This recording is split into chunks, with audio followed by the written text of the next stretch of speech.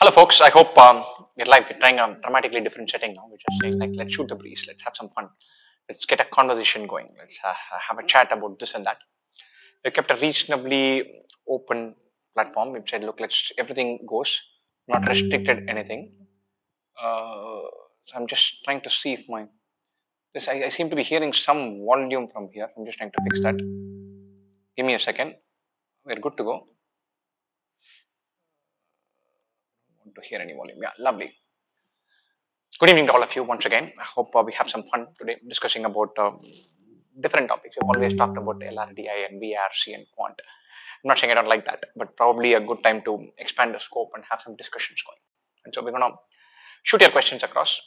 Um, we will we will have a go at hopefully most of them. Hopefully all the relevant ones, the fun ones. Uh, we have a lovely team here. Akib and Bharat are live with us. They're going to be curating the list and deciding which questions we pop up, rest of it. If all the tech is good, if you can see me and hear me super clearly, and we are, we are good to go. If you're uh, eager to go as excited as I am, let's start off. And uh, I have a bunch of questions on my on my dashboard here, so I'm going to start with that. Uh, the first one is from Shreya Sinha. Reality of jobs in India. As a fresher, I'm looking for job opportunities, but the compensation I'm receiving is peanuts. It, it seems as if my years of education is worth nothing. Why do recruiters value tags so much? Um, by tags, I mean, I, I think Shreya means talk about IITs and NITs and IIMs. Why do recruiters pay so much of a bomb to, to some institutes, some names? So all education is a signal. Um, the IIT or an IIM or an NIT sends a powerful signal. Says, hey, this person can can put their head down and execute. Either they are super smart or they are super hardworking, and frequently both. And that is a powerful signal. As a recruiter, I can tell you that sometimes I can get tremendous value for a, for a resource that plays that for which we pay two lakhs per annum. And, and sometimes we get good value for so that we pay eight lakhs, nine lakhs per annum. The problem is there's always a management cost that is there. And so if I get, you can easily argue that we get four guys at two lakhs per annum. One of them will be fantastic, will be as good as the 8 lakh per annum, 10 lakh per annum resource. The other three will be decent. So it is better off to recruit four people at 2 lakhs per annum and, and 8 lakh per annum or 10 lakh per annum. Why should we pay a premium to the, to the time? The thing is the management bandwidth, the management cost increases. So if you can get good resources, get guaranteed good resource at a premium, you'll pick it. And so that's how cricket teams operate. That's how football teams operate. That's how the, your IPL franchise operates. It's one killer fast bowler is at a 10x, 15x, 30x, 40x premium to four middling medium bases. So that's that's why the the tags rank so much. And the most more important question is that um, uh, is my education worth nothing? Definitely not. Most of the education is a signal. You've got to say, hey, my signal right now is this. You should find the best return that the market can give you. That's important. You need to bargain, negotiate, find a good deal, find different jobs, see where you work. But early part of your career, what you earn is, is far less important than how much you learn. So if you're in a beautiful job that gives you a beautiful learning experience, your your your earning short-term earnings simply don't matter. And your, your trajectory is going to determine what you earn through a lifetime. Most people will tell you that their salary on year one to year 10 to year 20, generally the, the, the swing is 1 to 10 to 40 so if you're on a good trajectory, it can go from 11040. If you're on a poor trajectory, it can go 137. If the whether it is 11040 or 137 is a function of how much you learn in your first four five years, how fungible your skill sets are. So if you can find yourself a good place, which is a learning environment where you can where things get thrown at you, where you get responsibility for yourself. The first two three years earning less than market or what you can get simply doesn't matter. If you can add relevant skill sets to yourself, you will go places. So don't worry too much about your earning capacity eh, in your first uh, few years. Definitely, it doesn't matter. It's not relevant. It's not material for your prospects over a over a, over a lifetime, over a long career. So, so don't fixate on your first pay packet, on your pay packet for the first few years. It definitely does not mean that your years of education are for nothing. Your years of education give you the power to hang in there and the ability to learn new things quickly and make a telling impact three years, five years, seven years down the line. Next question is from Siddhant Rawat. What's your reaction? People calling you the James James Bond cat. question. It's some, it's one of those random fun things. There's not much to react about that. I think Bharat is having a little bit of fun throwing this question into the mix. Uh, it is some one person coining and having some fun. A bit of a joke, nothing more than that. I'm going to move to the next question. It's from Vivek Singh. How will you feel if, uh, if the IIMs choose to prepare, choose you to prepare the CAT 2022 question papers? Will you change the existing pattern or follow the pattern? Oh, brilliant, brilliant. I love this question. Uh, first of all, I'll feel thrilled. I'll feel honored. I'll feel delighted. Say, look, this is my chance to make sure that everybody's chosen the right way. Uh, I'll stick to what they are testing. They're testing broadly quantitative ability, bodily verbal ability, bodily logical reasoning. I like all three. And then don't, don't get me wrong, I think these are the relevant things to test given the trade-off between the time and constraints. So I've heard so many people say, do I need to be really great at math in order to be a good manager? Of course not. Of course not. But being good at math and good at verbal, figuring out new puzzle-like settings guarantees a certain intellectual ability. I cannot evaluate emotional quotient and man management ability in a three-hour setting. And I have two lakh applicants. So I need one filter. So that filter has to work brilliantly. And the framework they have chosen for the filter, I like that. What I will not do, I'll not have this two hour exam. I'll put a lot of fight to have a three hour exam.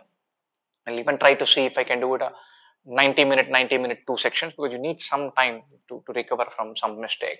Then what I'll do is I'll dial down the level of difficulty of this logical reasoning section and make it such a big hit or miss that you get one idea right, and then you fly. You get a couple of things wrong and you end up with three marks or five marks. So I think become they've erred on the side of excess. They, they took down, they, they took the level of difficulty in one direction, but I think they are overshot the sweet spot. That I'll change. I'll change um, the, the, verbal ability section. I find every now and then the question qualities to become too much on the ambivalent territory, where it is vague and, and, and subjective and not really striking a chord. I'll amp up the quality, in the verbal section. Quant, I find a bunch of things which are um, which are not uh, not fundamental enough, not interesting enough, not uh, intuition testing enough. So I'll change the type of questioning, not the pattern, not the uh, subjects covered, not the uh, nature of the exam, not multiple choice data, none of that. I'll make it a three-hour exam, but I'll, I'll, create questions. We do it extensively, both in 2IIM and especially for PyBob, where we say, hey, you know the funda. You can answer this really quickly if you get the funda, the crux of it. Otherwise, you're in trouble. I'll make sure there are tons of questions like that rather than run of the mill, just plug in formula, plug in substitute, sub solve something and get it. So each question will be juicily set so that it, it tests the clear understanding of one idea. And it's only 30 questions, not rocket science. We can put it, pull it off. So I will change the quality and type of questions in quant, uh, weed off some of these really cranky ones in verbal, lower the level of difficulty in the puzzle section, but otherwise, these are three things I'm testing, same format, objective, mostly multiple choice. I like all that. But I like the 3R format more than the 2R format. Broadly within that, but cleaned up a little bit. I'll be thrilled to bits that somebody asked me to do this. Next one is from um, Sriniket. It kind of takes off from here, I think. Should CAT be conducted twice a year considering the pandemic? Uh, I don't propose a best of two like Snap, but shouldn't there be two slots out of which you can pick one considering the uncertainties that the pandemic brings? So uh, I'm firmly, firmly for it. I'm, Forget the pandemic. I think we've definitely come to the point where the CAT itself should be conducted at least twice a year. And I'll give you my, my reasons. One is there's too much riding on a two hour exam. The emotional investment over an 8 month, 10 month, 11 month cycle is too high. The IIMs and several colleges have gone to their admission paradigms, saying, look, we'll take care of your, think about your 10th, we'll think about your 12th, we'll think about your UG, we'll think about your work experience, your profile, We'll give more weightage to how you conduct yourself in the interviews. We care about all this, the, the package, and not just a thing in your 2R, 3R thing. But this is a good direction to go in, and which is nice. So they're, they're saying, I'm not going to make it dependent on a 3R exam. But then on top of this, the 3R exam is like a gatekeeper. The 3R exam doesn't guarantee you anything, but it can kick you out of this process. So the, the emotional investment, I need to prepare for seven, eight months. I need to put a bunch of things on hold. I need to commit myself to learning obscure formula, tricky ideas, puzzles. Uh, I need to have fierce discipline doing this. And I don't get me wrong, I like the idea of preparing for something. I'm a teacher. So I like the idea that the exam is challenging, interesting, and it, it, it makes you learn new things, which is even otherwise a good trait. But uh, the, the, the, stress and emotional investment for an uncertain journey uh, that is sometimes too high. I see year after year, every every ten successful candidates that I see and I come across, and I, my heart goes, know, jumps up saying um, our students are doing well. Any student is doing well. I, I meet 40 or 50 uh, with, with uh, shoulders drooped and heads dropped, where they feel the weight of uh, having misfired in a 120 minute exam.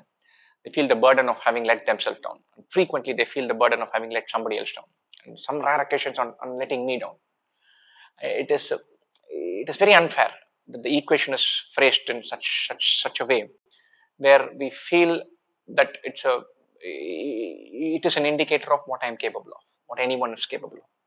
And I find that emotional burden to be sometimes uh, unnecessarily crippling. We all carry emotional burdens when, when we're sitting outside the hospital for when your child is being born. That is a stress that you can't you can't say, okay, dial this down. But uh, an MBA exam, especially one where you have dialed down the importance of this exam by saying all other parameters are important, all others ones are crucial as well and having it twice a year uh, or three times a year, brilliant. So I'm, there's not one shot at it. I'm going to prepare for this exam. I'm going to give this in, in November.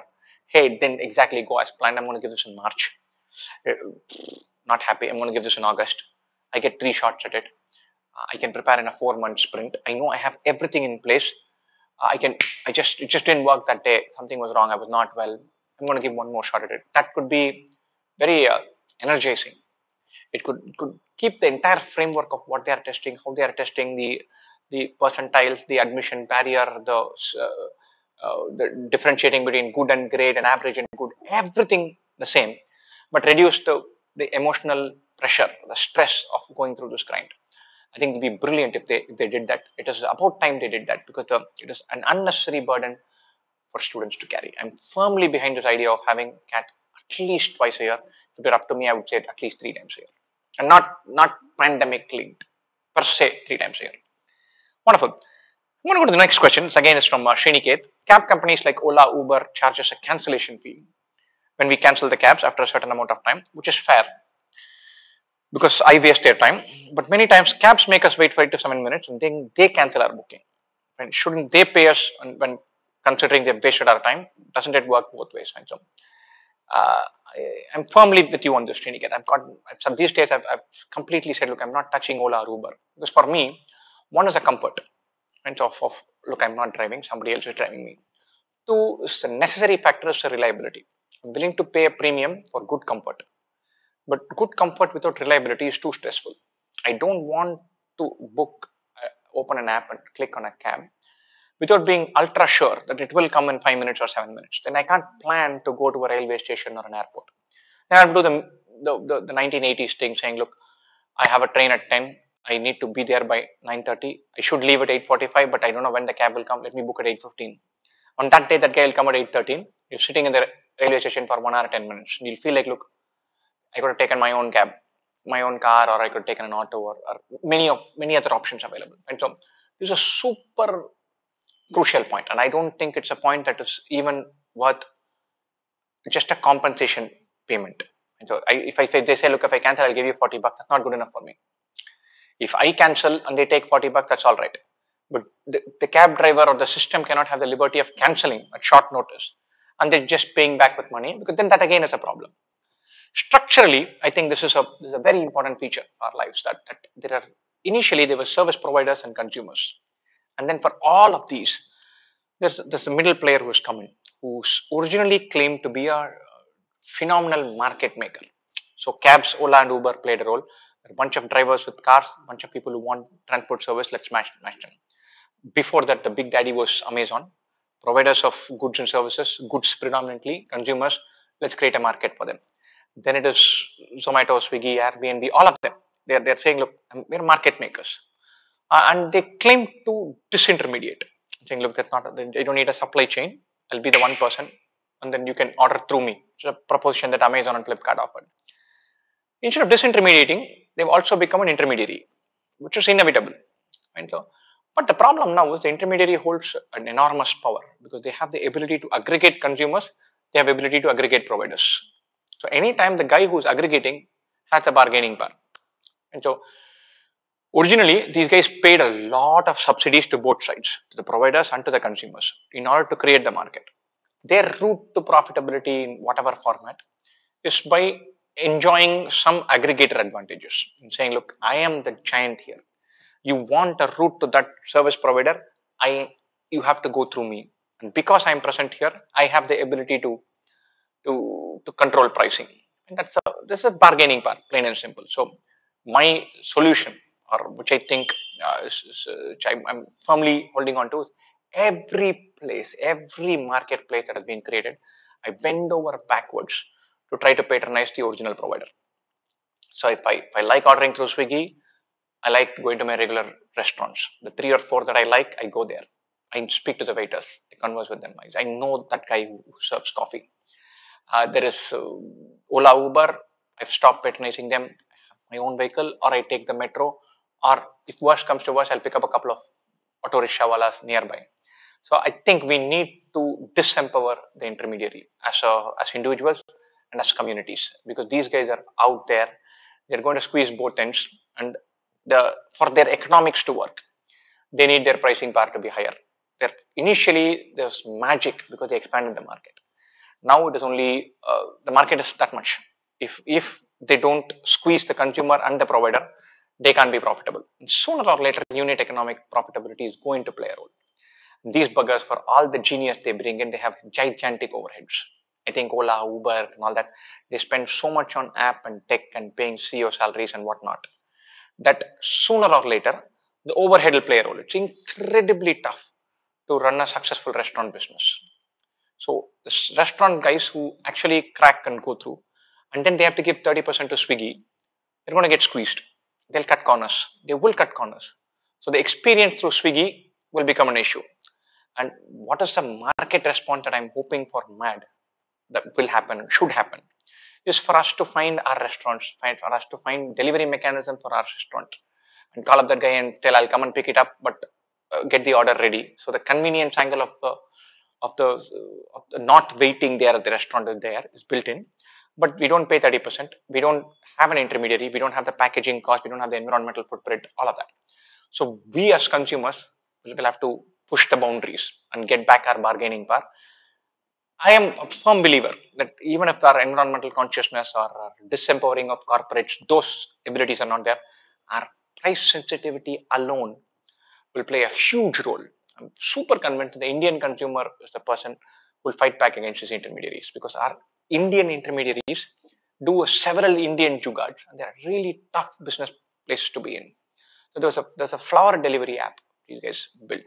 So you can click and order flowers. I was like, nice and then they give free for the entire building for, for two days 40 bucks worth flowers for each person which is all nice but if i it's incredibly tough and wafer thin margins of, of, of selecting flowers and delivering to people there's a network of ladies who, who do that and go door to door or you go to a place and buy them we need to double down and build our super local relationships and make sure that the unit economics of these behemoths never work and just works across categories and i think the final, the, their playbook is very clear.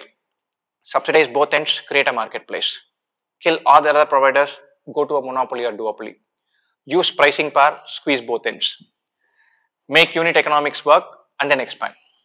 I think the first three, four steps they've done. Final unit economics working everywhere in the world is working beautifully because once they create a duopoly, they're, they've created habit of going through the what food delivery guy, going through the taxi delivery guy. Indian habits are when it comes to price sensitivity. I'm known millionaires or reasonably well off Indians who will not will balk at 1.3x pricing or 40 rupees for Swiggy delivery. It's not there, not there in our DNA to give 50 rupees, 70 rupees for the trade. In some cases, it's worthwhile, but if you don't push back, we're in trouble. So I'm a gigantic fan of pushing back against all of our uh, new age, newfangled intermediary services, they brought in a mechanism of redefining the market. Uh, but now they're just squeezing everybody else. This is more more feudal than new age disruptive technology and all that. So they they know they they get to their route. Their planning is to get to a monopoly and then squeeze both ends. And I'm not such a big fan of that. Sorry, became a rant. Uh, went on for too long. Let's go to the next question. This is from um, Sarathi Day. What was your immediate reaction after knowing that you had converted um, uh, IIMB way back in the past? Obviously, I was thrilled, thrilled to bits. I was very happy. Uh, it was one of the my preferred colleges. I, I hadn't gotten into IIMA. I, I, always had a soft corner for uh, Bangalore, the city. I'd gotten into Bangalore and Calcutta. So we, my, a couple of my friends and I, we discussed where to go. Uh, I, have always been fascinated by the city Bangalore. Bangalore and Mumbai were my my, my the cities to to, to go to. Uh, it was it was a very comfortable thrill feeling. But truth be told, uh, I was kind of confident. I knew that I was going to go into get an admit into two out of the three of ABC. I was reasonably clear that I had my good chances. Uh, the, back then, 70%, 80% was based on your CAT score. And I had done reasonably well in a couple of the interviews and I, I, studied in, in IIT, so I had several things going for me, and I knew my CAT score would have been there in the mix. When I got through uh, engineering for, for, IIT, that was a big, big, big thrill. I was 17, I didn't know what I was about, I had no confidence in my abilities. Um, I, I was not sure about how where this exam would fall. I didn't know what engineering meant. I, I was just a guy who's written, written an exam and waiting for results. So that was a huge thrill. This one was quite contented, happy, but it was not out of the blue, and, and it was not uh, a dramatic game changer. Hmm. Go to the next one. This is from uh, Kamlakar. When you left the job to lead 2IIM, didn't you have anyone who opposed that? uh, yeah, there are quite a few, quite a few, quite a few naysayers, quite a few who were super surprised, quite a few who were uh, who just didn't understand what might be the motivation to uh, to quit a what was a, definitely a cushy job, a severely overpaying job, to do something in a without a clear definition of what it was going to be about. Um, so I did face quite a few kind of raised eyebrows, no doubt about it. Uh, my parents didn't get it. Uh, several of my uh, family and extended uh, family and, and, friends didn't get it. It was not a decision that was well thought out. It was not. If anyone wants to be entrepreneurial, my story is kind of an example of how you should not go about it. So one fine day, I packed my bag inside and came and said, look, I'm going to do something. And I got a job and I was scouting out. I said, look, I like teaching. Why don't I do this? And why did we, my vision in teaching was to kind of change the way math was being taught from across age groups, from as young as possible to largest uh, age group that I could address, to, to break the way some patterns of math teaching had been built. So that's my my, my big big team. Uh, but it took me years to even go down that route after I entered the education sector. So I, I cut my teeth in taking tons of classes for cross exams, and that really helped in, in understanding the subject and the pedagogy and the idea of breaking down teaching and all of that. Uh, but it, I did not start with a business plan. I did not start with a clear idea. I did not start with a yeah or yes or no decision making flow chart. I just went all in uh, with nothing more than a nothing more than a whim. I definitely did not have my family prepared. Uh, lucky enough for me, my my, my wife didn't uh, have any issues at all. She's been a saint throughout the process. So it was the first few years were uh, cruel in terms of the, the, the journey we're taking to the gigantic uh, lifestyle change, and it there's a couple of points where it looked like it had all been for no good reason. So I must confess that it is not definitely one one uh, one smooth sailing route.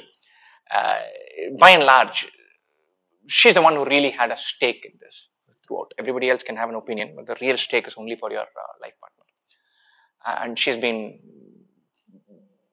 been a saint about this. So lucky that way. But there are severe number of heavily raised eyebrows. So that was definitely there.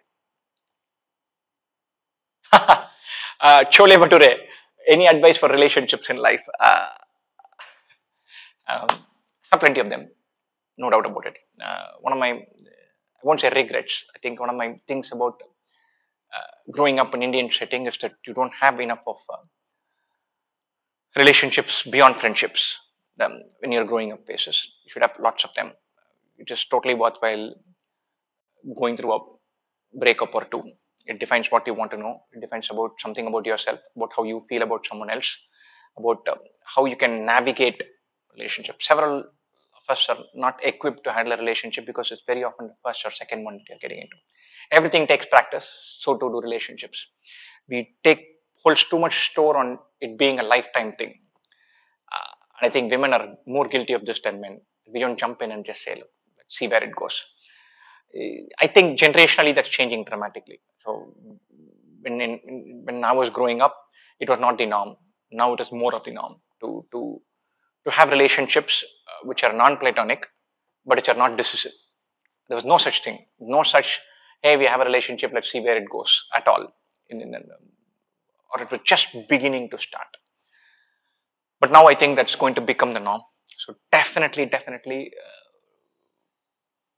test the crowd. So if, if, there is someone who you think is special, you must take the risk and go for it. Uh, it may or may not work out. The price of it not working out is not that high. Never thought I'll be talking about relationships on, on a live show. Hey, anything goes. I'm one of the least equipped people to talk about this, right? So it goes on to say that you have a camera in front and some people willing to listen, people talk all kinds of trash. And, uh, your portfolio of stocks. This is from Sanjeev. My portfolio of stocks from the time 2003 I graduated from, from my MBA. So I had uh, any money to invest in 2003 till 2022 has been zilch. I'm not, I'm not dabbled in stocks. I was in the equities market. I was a stock analyst for a while.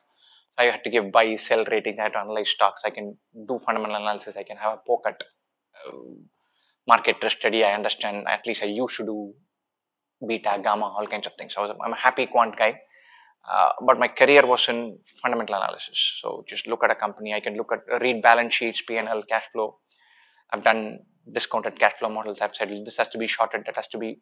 We have to go long this pair. That whatever the the, the, the, the whole stock evaluation thing. I've done several company sizes. I've done some one or two IPO analysis and all of that.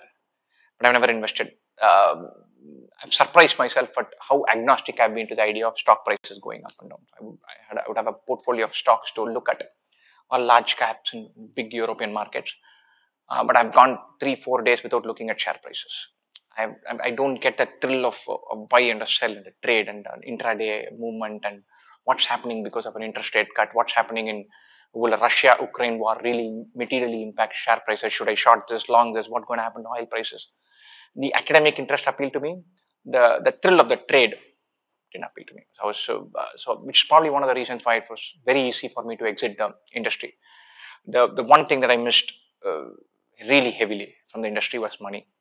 Nothing else uh, was even was even a factor. The the, the so-called intellectual kick. Man, there's nothing so intellectual about financial sector.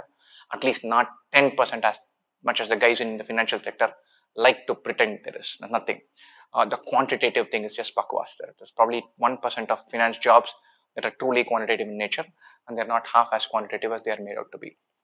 And so it's just a, the thrill of large amounts of money trading hands and being in the news and being a newsmaker. There's no nothing intellectually challenging.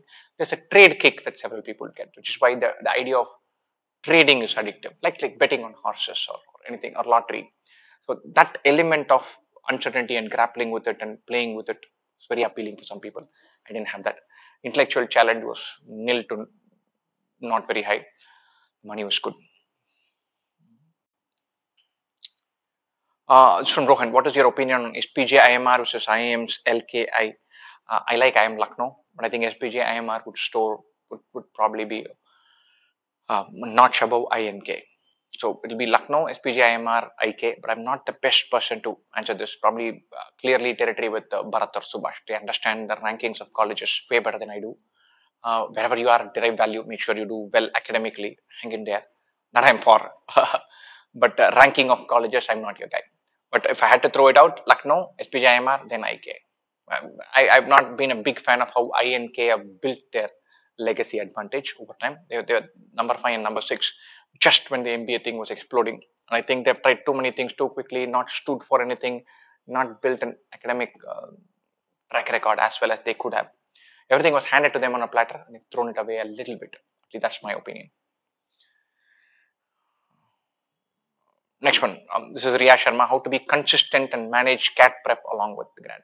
I'm going to stay away from quite a few of the CAT prep questions. And we've done plenty of those. So we take this, uh, find some balance, find some routine, find tell yourself that this is your ticket to the other career that you've dreamt of. Whatever your motivation is to do an MBA, this is your ticket to that. So it could be fear is a good motivator, hope is a good motivator. So this this is a hope for that, or the fear that you'll be stuck doing something else. Either way, that can be a driver for you. Uh, but the discipline is super important. Motivation is for the high. The discipline is what sets the base. Uh, Mr. Adu, thoughts about the IPL auction tomorrow, sir. Recently, I told somebody I was too old for Instagram. I'm definitely too old for IPL auction, and I don't have time for uh, the auction system. I like to watch the odd match. I'm a big fan of sport. I watch a lot of sport. Uh, even today, I've watched a lot of sport when I was growing up. In my classes, in schools, in colleges, immediately after college, I would watch tons of sport. And there was a time I would act, I actively followed football and cricket. I still do, and I watch almost all sports, or almost all is in stretch, but a lot of sports. And so, uh, I'm a sports buff. I like watching sports and thinking about sportsmen and all that. But in cricket matches, I followed the Ashes, but I don't have, I don't even, I don't, I'm not following India versus West Indies, the one day series. So the India South Africa Test series was gripping. I like that. So I'm, I'm, I'm still a fan of Test cricket. I really like that. Uh, and I have time for ODI. I do watch T20, but I don't have the bandwidth to get excited about uh, IPL auction. The, the, this guy went for that price gives me no thrill. Maybe it's just the same extrapolation of the financial industry. This is priced at this much. It will go up, it will come down. That doesn't hold a thrill for me. Best memory at IIM Bangalore. Um, I don't think I have one uh, vivid memory to, to, recall. I had a blast. I had a blast. I had a blast at IIM Bangalore. I was the uh, in IIT Madras. I, I had my I, I, was put in place. a bunch of guys who were uh, phenomenal. They were really good at things that I was not good at. And they were really, really good at things which I thought I was good at. They were better than me at things that I sucked in. They were better than me at things that I thought I was good in. So it was a super humbling experience. I thought I was a math kid. In my class of 80, there were 10 guys who were better than I was. I, I didn't get drawing. In my class of 80, 75 were better than I was. So it was a humbling experience in the extreme and sometimes stressful. IIM Bangalore, in comparison, was a breeze. I got accounting and I, I, fell in love with economics. So I was the engineer who was happiest doing accounts and economics. In my first semester, my chartered accountant or my BCom friends, classmates were teaching me accounting. By the time of the third semester, I was discussing valuation with them. I was telling them, look, we could do this, we could do that. I was very happy at ease with, with, with anything that has some numbers in it, people think it's quant heavy. But the quant in finance in, in, in MBA is minuscule compared to what you face in, in, in, in hardcore electrical engineering stuff. So I, it was a breeze. So I had a blast, had a complete blast. No one moment really stands out. Um, I had lots of late night discussions with friends over uh, over no good point. I had a time. I remember going to night canteen at 1 a.m. And, and just just whiling away the time till uh, three, uh, being in some random party from 12 to 4 playing Sepak Takraw in the middle of the night. So I did a lot of these uh, goofing off things. So I had a blast those two years, but I don't have one standout thing that I can place. Next one from Sai Kiran. Uh, do we have a chance to choose area before going to placements in IIMs or will they uh, do so by coincidence? Uh, most of the times you can pick electives and courses, but I don't think you, the IIMs don't have the notion of a formal specialization. So if you're doing finance, you do two more courses in finance. If you're doing marketing, you do three more courses in marketing. But that's about it. You, you say you've done more courses in it, answer questions, show your affinity in the interview, you're good to go. Next one, I'm going to, once asked. Thoughts on philosophical idea and nihilism, the belief in nothing, how it's out there. I had to read up on this. I had to read up on nihilism because I need to, I want to know the exact definition. And so I just wanted to know your perspective. Uh, nihilist is the guy who says, look, everything is uh, a couple of steps beyond cynicism. And just the guy who's out to burn everything. And who's, who's, existence is filled with uh, not angst, but a feeling of hey, everything is screwed anyway. Uh, the, the, the best nihilist is the Joker from Batman. So he, he, he's like, look, I'm out to some, there's this, this famous meme Some guys just like to watch the burn, world burn. That's the nihilist. And so I'm not a fan. it's extremely funny. It's, it's a, uh, the nihilist thing is uh, there's a certain romance to seeing a character vividly etched on, on the basis of nihilism, on, on, on angst, on saying, look, let's throw the fire into, throw everything into fire, throw, just burn everything down. There's a certain thrill to it, raw thing to it. I'm not a nihilist by any stretch of imagination. I'm an Indian entrepreneur. So Indian entrepreneurs are frequently given to rants and they sound cynical. But there's one of those essential ingredients you need to if you're an Indian entrepreneur, and that is boundless optimism. And so we always live for the next cycle. We find a way to pick ourselves up and find something new to do, find something, carve out our space, put fight to define our product, uh, make something better compared to last season, make something new, compelling that can last a decade. And we're always about that. It could be a, a market tweak, it could be a way you present yourself, it could be an idea, it could be an ad, it could be a, a new consumer proposition. But it, we're always about reinventing and pushing and prodding and jugaad or creativity, but it's, it's about the next cycle. Uh, without that uh, delusional optimism, you can't survive as an Indian entrepreneur. Maybe you can if you're funded. That's a separate story. And so, that, the, the, and if you want to be delusionally optimistic or live for the next cycle, you can't be nihilistic. And the cynicism sometimes considered cool. I'm not even a cynic. Sometimes I'm given to rants. It's almost as if I want to rat, get out of the system, sleep, and then come back with a bunch of new ideas. So I think even guys in my office know that if I'm super pissed with something, then I'll pick myself up and I'll come with a bunch of ideas 24 hours later and say, look, let's attack this. There's no problem that that I want to feel like, look, it's all done. I might feel like it's all done at 6 p.m. And at 8 a.m., I'll be like, look, it was, it's all, let it all be done, but let's put, still put fight, let's try these three things, let's go down in a blaze. And then we'll go and attack that. The idea of saying we'll go down in a blaze is to say, look, let's hit it, let's do something about it. So the nihilist is not someone who's clinging on to the possibility and hope. So, so I'm not a nihilist.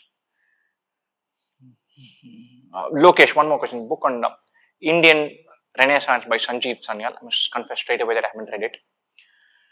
The author strongly argues that Nehru Mahalanobis' economic policies after independence made India's economic stature even worse in the global standards. He gives equal importance to the liberalization of economic policies in 92 as much as 47. I'm a big fan. I'm a big fan of, of the 91 92 reforms. I think we give enormous credit to Mr. Manmohan Singh for that. I'm incredibly thankful for that. But I think someone who deserves even more credit and is sometimes airbrushed in our history is uh, Mr. P.V. Narasimha. The liberalization was one foot the TRAI reforms were another. Both played a role. Liberalization was conceived of by Manmohan Singh, but we were pushed through brick by brick uh, by Mr. Narasimha Rao. And throughout, we must keep in mind there's a five-year reign when he was not just supremo and did not have the party completely behind him, and he was running what was on paper a minority government. He never had the votes to stay there. At any time, they were there because the, the, the sitting MPs were more afraid of another election than afraid of than and than enjoying the thrill of pulling down this government. They pulled off phenomenal set of reforms, liberalized the economy, removed us from license raj, took us to the next wave across different sectors under extraordinary political constraints. A minority government, they did not have collectively as a coalition 272 or whatever the magic number is. So they ran through that and they did it brilliantly. I'm a gigantic fan of what they pulled off in 91 92. But coming to the 1947 point, I think sometimes we make a mistake of judging events in the past based on the settings of the future. And so the, the Cold War established and created a full mechanism that, that capitalism is a superior way of running an economy compared to uh, the, the, the government economy or the socialistic communist model. Right? Things were not so clear in 1947. Nehru had a problem in pulling together the country and nobody had capital. Private sector capital was super limited. The Indian private sector industry lobby went all out to tell Nehru to make the government lead the charge on economic policy, on economic activity. The government had to play a role on several things because heavy industries needed heavy investment. Nobody had it. They didn't have the money. They wanted government to lead the charge and the industry wanted to follow. So the decisions Nehru took in saying government will play a very active role in not just regulation but in running the economy was heavily encouraged by Indian industry. And it was in his belief that slowly Indian industry would, would, would cut their teeth and get better. But the government had to lead from the front. And so I'm not, uh, I don't want to judge the role played by uh, the government and the, and the, and the model that Nehru went on. And our growth rate in the first 15, 18 years actually pretty good for a country that has just come out of, uh, come out and become free, independent, would fought a war, would fought another crippling war in, in, soon enough, had uh, trouble uniting people, had to consolidate a bunch of kingdoms. In that context, our economic performance was, was, was not bad. And unless Nehru had been super cruel and given the country away to capitalists, uh, we could not have done much better. I think India really lost away in the, the, the, middle 25 years, 1965 to 1990. That was a cruel part for us. So post Nehru, pre-liberalization. That's where we really, really, really lost our way. When when we when Mrs. Gandhi doubled down on her own mythologies, when she became uh, when she didn't have the nuance to run an economy, when everything became about controlling the, the centers of economic activity, when, when we knew we were doing wrong things but didn't have the political courage to pull them back, when there was no credible opposition, when when everything was erratic and, and, and random. So that is a that is the phase where we really lost our way. So I do, I wouldn't blame Nehru and his decisions on the economy as much as the middle 25 years. 1947 to 65, 67, smooth sailing. 92 onwards, kind of okay. I, I won't say it is smooth sailing from 92. 92 to 96, brilliant. 96 to 98, the wilderness years, politically. 98 2003, good. 2004 to 9, decent. 9 to 14, nightmare. 14 to now, mixed. Hmm. I'm going to go to the next question. This is from Kush. What do you think about the education system of India? What would you be the suggestion to improve it so that deserving one gets rather than not just one with marks? I'm a gigantic fan of saying the deserving one is the one with marks. So I must straight away disagree with that. Uh, we're just talking about Nehru. The, the biggest sin or mistake or blunder or by Nehru, I would say, is lack of investment in primary education. Nehru had this temples of modern India, great centers of learning. He invested in the IITs. He said, look, we need to have centers of higher learning for people to aspire to. But India's investment into primary education is, as a percentage of our GDP, is one of the lowest in the history of the world.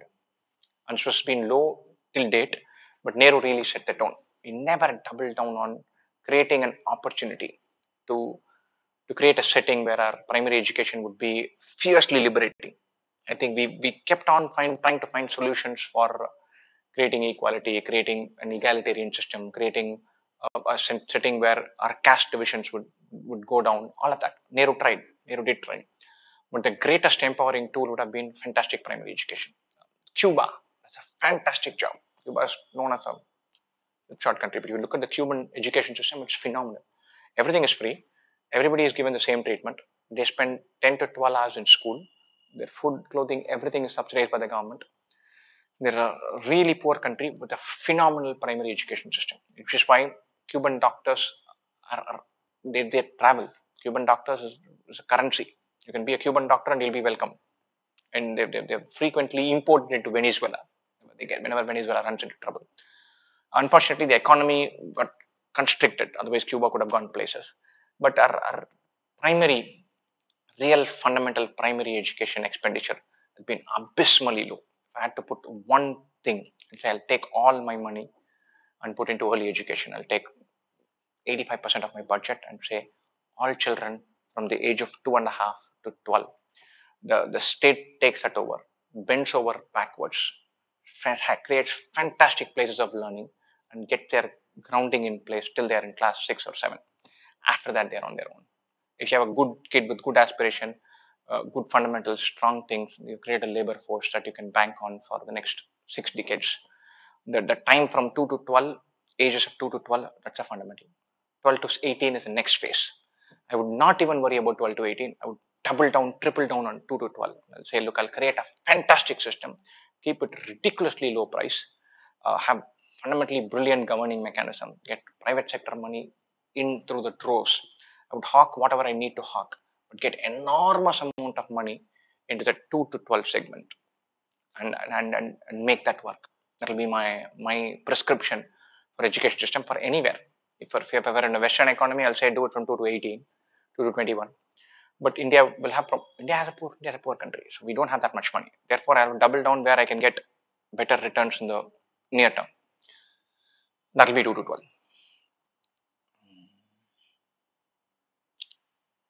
Which movie it is? This is again from Kush. Which movie it is? If I ask you to watch at least once every week, you will watch it. at least once every week is pushing it. Let's see if someone asked me to watch the imitation game. I can watch it any day, anytime. Watch it more than 22 times. Still haven't got bored. One of my all-time favorite movies is uh, uh, several, quite a few. Three Idiots is something that I can watch, and it really strikes a chord with me. It's uh, it's insightful, meaningful. It, it, it is um, cheeky, uh, brilliantly constructed, full of heartwarming moments, uh, ridiculously funny. It ticks several boxes for me. So I really like that. I can watch that plenty of times. In Tamil, I can watch Michael Madana Kama Rajan any number of times. It's a brilliant, brilliant movie. I can watch that. So those are my, my go-to movies. Do you cook? I'm, I'm a good um, assistant. cook, I can cook. I can get by, but uh, minimally. Um, I, I can. I, am let me put it this way. I can help around in the kitchen way better than I can cook. I'm, I have good skills in all the surrounding activities, limited skills and limited uh, flair in the really key thing. Is it good to invest in crypto? I haven't the faintest idea. Crypto scares the bejesus out of me. I have no idea about what crypto. I've read. I mean, I've gone through Suhas's uh, blockchain and uh, crypto and NFT videos. I've seen them, and they're well made. I've read, but I don't understand. I don't intuitively get blockchain. I simply don't get crypto. Every time I look at crypto, I I, I fret. I feel like this is a this is a romantic in people striking against the tedium of government agencies and saying, look, we will strike a blow and we'll have an independently verifiable mechanism to have a storage of wealth and for trading. All brilliant. But I think government mechanisms for regulating currency are there for a compelling reason. And I don't see the advantages of crypto outweighing the risks. I'm so I'm paranoid. I don't get it, and therefore I don't invest in crypto. I think crypto is trade. Crypto is on momentum. Crypto is on hey. Very few people understand fundamental value in crypto, if at all there is. So all of everybody seems to be in this on the basis of greater fool theory. We'll buy now. It will go up. When it goes up, I'll dunk it out. That's the motto behind crypto. So I, I don't I don't invest in stocks. Where am I going to invest in crypto? I'm not invested in crypto. Mm, I don't think I'm going to rush rush there in a hurry. Advice to those going to tier 2 colleges, uh, GLIM first of all, GLIM, Great Lakes and TAPMI are not tier 2 colleges, they're wonderful colleges. Um, I keep telling this to several people who feel like they've missed out, who feel like I could have been in college rank 8, but I'm going to college rank 20. Simple rule, uh, college rank 8, if you're the top 10% of your batch, college rank 25, you're the top 1% of your batch, probably going to the same place. And so, if you're a median student in IIM Ahmedabad, or the top 5% 5% student in IIM Kozhikode, top 5% in IIM Kozhikode is perhaps better. You have a better shot at better colleges. So make sure your CGPA is high. Make sure you learn tons of stuff. Be on the lookout for opportunities. Learn from fundamentals and hustle. Be out there. Uh, you will go places. The, the colleges in India, what we've defined as tier two, they are excellent colleges. They, they offer wonderful value. They teach well. They, the economic prospects available for colleges is phenomenal. And I was studying in, in engineering. We guys used to think of it as ABC, grudgingly L, and then I and K we wouldn't care about. Maybe FMS and XLRI. We used to think about six colleges that were relevant. Now there are probably 60. And the prospect that we could be assured of joining the sixth college, uh, the, that is worse on a like for like basis than a prospect that you can be assured of when you join the college rank 30. That's a generational advantage. And so, so grab it, take it. Uh, if you feel um, a little bit of angst and say, look, I should have been in a better college, make that angst count, score well, be academically brilliant. It will take you places. Why can't Indian B schools treat work ex like how foreign ones do? Uh, fresher is fine, but having more than four years is wrong. That to an age of uh, just 25. So, I think Indian B schools treat work experience really well. I don't I don't think there's a big problem there. I'll tell you where the difference comes. Uh, in several Western corporate environments, uh, after five six years of experience, you automatically find yourself in a place, mm, uh, unless in a place where you have a certain revenue responsibility. In Indian work environment, the revenue responsibility uh, comes a little late, and the revenue responsibility is the real deal. So if I'm recruiting somebody, and I, I see this in, in all honesty, I, I try to, whenever we recruit, I will pay a big premium happily for someone who's comfortable and with the idea of revenue responsibility. Someone who's very happy to say, this is what, this is the numbers I bring in. Someone who's worked for four years, six years, seven years in project management role in, in Infosys, Wipro, Cognizant, they're working brilliantly within a framework, within a system. But I'm not too sure that they've ever enjoyed or borne the pressures of revenue responsibility. And revenue responsibility is the real deal. And so, you, if you're doing an MBA to, to graduate to a revenue responsibility role, if you have had revenue responsibility role in functional points, and then you go there, uh, go doing an MBA that's meaningful. So I find some of the experience that Indian aspirants have pre-MBA to be just years in the bank rather than with a compelling understanding of how business runs. I'm sometimes amazed at how agnostic to the idea of uh, commercial reason to exist of a company several employees are in, in, small places and large. I've spoken, I've had conversations with people who have absolutely no idea of how their 30 member company makes money. They have no idea. They don't define their role in those terms. I'm not, I'm not averse to that. But if you want to do an MBA, if you want to say, I want to be in a business running role, then you need to have a clearer understanding of uh, the commercial boundaries of organizations. And I think Indian employees uh, do not have a clear understanding of that at, at, at the two year, three year, four year experiencing, which is probably why they're not, they're not treated like they have that. Shivam Tandon, one skill you would like to pick up at present? Um, several, several, several. I would on, on a life skills basis. I would like to definitely learn to cook better and definitely like to parent better. Uh, those are two things that I find I, I'm not as good as I would like to be.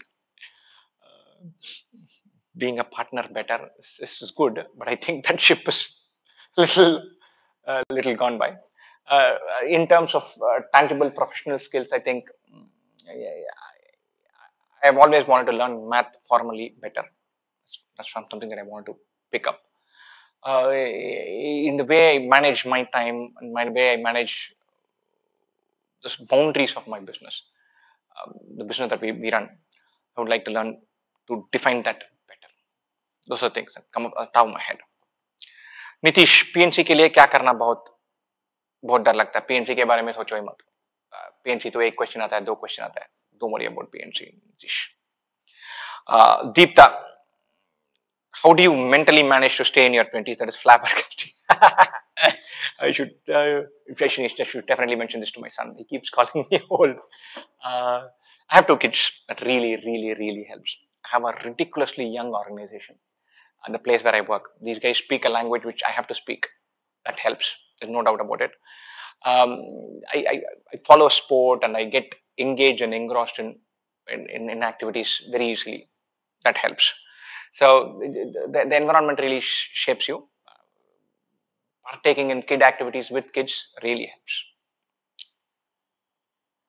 Sarthi, how do you beat procrastination? you guys should really talk to my family. I am a big, big, big procrastinator. I'm a gigantic procrastinator. There's not, practically very few things that I would rather do today than tomorrow. And if I can delay anything, I do it. So I'm, I'm that is something that is my bugbear. I need to defeat it at some point of time. Something doesn't immediately catch my fancy. I wait for the mood to be right. And, some, when my daughter uses that phrase, I now realize how it drives me mad. so eh, I, I, I work in spurts I'm committed to task. Um, I have a ridiculously keen sense of, hey, this is what I need to bring to the table. This is mine. I can't pass the buck on this. I need to turn up for this. Uh, I can't let down my team for this. I'm, so I will turn up. But I'm not uh, as disciplined as I would like to be, and I'm not definitely not as time conscious as I would like to be. Shole Bhature, have you ever faced a rejection? Shole Bhature seems to come with an excellent question. Have you ever faced a rejection? How do we deal with that? Oh, plenty. Oh, plenty. Uh, in my after my MBA, I attended something like 25 interviews with 25 different companies and did not have a job. So we started with day zero. It was eight, six or eight companies. I attended all their interviews, bombed. Day one, slot one, day one, slot two, I bombed. And I attended all the interviews. My CV was good. My CGPA was good. My all-round ability was good. I was in placement committee. I was academically good. I, I, I knew my stuff. It is just that one of those things I tanked interview after interview after interview. After a point, it was an autopilot. I was not geared. I was not thinking about jobs. I, I didn't have a clue about uh, what an employee should know. I didn't have a clue about selling myself well to a to a recruiter in a 20 minute bucket. I didn't have the confidence to just say, look, I belong here. They should be recruiting me. So I was neither here nor there. Almost all my interviews interviewers knew that I was sharp. Uh, and almost all of them didn't, no one felt a compelling need to punt on me. This was 25 interviews, so it's a series of uh, rejections, which is obviously, of course, not fun. Uh, so it is a, it is a, I've, I've gone through that. Uh, how do we deal with them? We just pick ourselves up, launch ourselves to the next thing. Very often, my short memory with bad news really helps. So something doesn't go well for me, a couple of days later, I'm frequently have forgotten that. So I don't hang on to uh, negative ideas as much as I, I probably people expect me to. So something bad would have happened, I just forget it. It helps. In some contexts, it's a weakness. Frequently, it's a strength. This from Arman. Do you believe there's life after death? I'm ambivalent to that. I'm not super spiritual. I'm not super religious. I don't need an idea of the possibility or not of life after death to govern how I, how I spend this time. So sometimes I find that uh, the life after death idea is a, a, meaningful motivator for good behavior, and I get very annoyed. So if there were, if you're sure that like no life after death, would you be not motivated to be a decent guy? So so so I'm not. I, I don't find uh, that uh, to be a powerful notion for me. So I don't get. What is your favorite form of humor? I'm a uh, written word really appeals to because I think written word lots of time gets spent. So in movies, humor driven driven by script appeal to me a, a lot.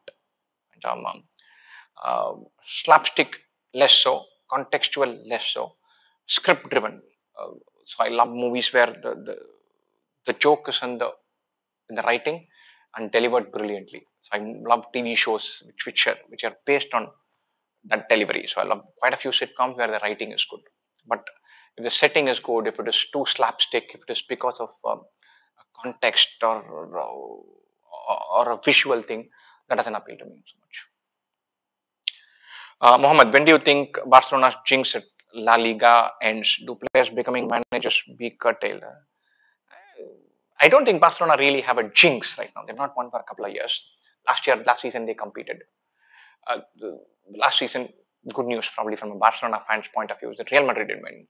So I don't think there's as much in a funk as, as they have been in their past. So when they when they broke through in I think the, the, the Rijkaard times, they had a bad spell for years.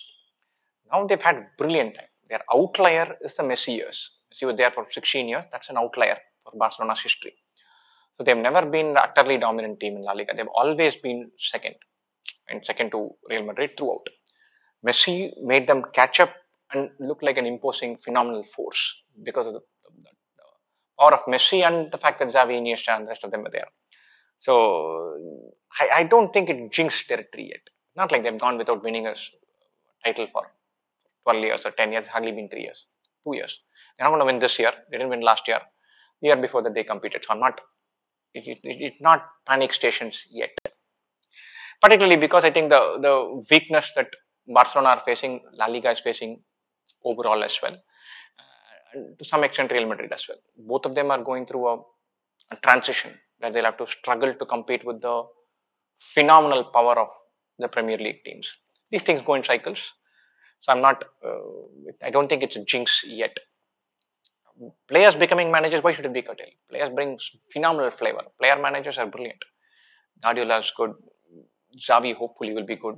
Rijkaard was good. Nothing against it. Nandakumar Rajendran, how was 2IIM's transformation in virtual mode after COVID? Was it challenging? From a course delivery point of view, it was not. We were always running an online course. So we've been running an online course for seven years. We added live classes and made it a centerpiece pretty pretty rapidly. It worked for us. And then we revamped our technology. It really helped us to, to say, okay, we'll deliver it differently. So we keep working on tech. We are heavy on tech. We invest a lot of time, energy, money on on getting the right devices, cleaning up our volume, uh, setting we setting up the live streaming flawlessly, using good software, good hardware, not compromising on vision when it comes to tech. So it was a it was not that difficult. The day to day was a pain. I don't like Zoom. I don't like conversations on phone. I don't do long sessions. I, I find myself nodding off, and I dramatically different in uh, in person. I can I like walking across, seeing, sitting next to the screen, talking to people, having a a real live discussion about hey we can do this we can tweak that we can change this picture we should edit like this we can transform like this let us think of the next big idea. All of that. I, I thrive on the people interaction. So which is why I, I do i like to be bang in the middle of the office so that i can be in the, the hustle bustle. So that i missed i missed dramatically. And i think several of us missed in, in our organization. Everything we like the idea of sitting together and, and, and planning out different things that we missed we sorely missed dearly missed some of the others scoped really well with the tech substitutes, I struggled. Vishnu, what is the one book which shapes the perception of your mind or a book which has influenced the way you think and work? Back when I was in very young, I, I read um, Ayn Rand, Atlas Shrugged and Fountainhead and all that. Uh, that made me fiercely capitalist, fiercely right-wing economist. Now I'm dramatically in the other extreme. I, I am where I'm almost borderline I'm left of center. I'm not left winger. I'm not a rabid communist, but I'm left of center when it comes to how economic activity should be should be planned. I believe passionately in, in government and institutions taking care of their poor, or looking out for the poor, giving them the opportunity, especially in poor countries like India. Our poor get trampled on. I'm, so I've become left of center. But back then, uh, in, in an impressionable age, it's a it's a powerful book. I'm not even sure it's the right book to read. I'm not sure it is as powerful an ideology. I think it's an ideology that is does not stand up to scrutiny that much, but it's sold really well in that book. Uh, and, and I, I, got carried away. I got consumed by the power of the, the, the purity of the ideology. So that I like. Author, I think P.G. Wodehouse is uh, my favorite author. The book, one book that I'm a big, big fan of is uh, Catch 22. Very, very well written. Very. I wrote. I read it when I was in college. I just simply didn't get it. Then four five years later, I picked up the book and read it, and I can I can reread it any number of times. It's a brilliant, brilliant book. That's a book that gives me a lot of reference points for, for my own life. Uh, again from Vishnu, I'm a South Indian, so are you. What do you feel about uh, our South Indian temples? Oh, very good places of architecture, uh, places where the, the, local subculture and routines and traditions are well maintained. Several of those are uh, not dazzling but well maintained, which is kind of the, the, the, style I like, not ostentatious but neat, clean, uh, stand for what they stand for, good community places. You get a good feeling when you go to a bunch of these temples. Right? Did you visit any great ancient temples? I, have gone to quite a few temples. I grew up in an Orthodox Indian family, so 50% of family vacations are temple trips. So you, I've seen almost all the temples near Tanjavur or Kumbakonam. I've gone to all of them. I've gone to Tirupati a bunch of times. So definitely seen many of them, several of them. Uh, back then I didn't like them. Of course, you're with your cousins, you want to play, and then they drag you out in a big van and say this is a glorious temple and this god is very powerful. The kind of ideas that don't appeal to 12 year olds who are thinking cricket. Uh, but I understand the, the, the communal angle of temples and, and the idea of uh, visiting a temple to give peace and quiet for people. It's a very place way of just seeing architecture. It does appeal to me. Do you believe in God and karma? In limited context, yes. I'm not fiercely religious. I'm not atheistic. Eh, I'm not agnostic either. So I'm in between agnostic and mildly religious. So I, I don't think I we need I need an idea of a God to keep me on the straight and narrow. Uh, but I, I, think that the idea of a, of a, more powerful being can can be humbling. And, uh, and therefore, faith is a powerful force like that. Karma, I would like to believe karma exists and karma is there. Karma plays a role. Um, I, I'm not given to counting my goods and minuses and saying, okay, today I got a good day. I just kicked one person, but I've given donation to three people. I don't think the math works like that. But what you sow is what you reap is the, is a central premise of, uh, of, of karma. I would like to believe that it exists. I'm not leading my life under the assumption very confidently one way or the other. I'd like to believe that there is some payoff for doing good things.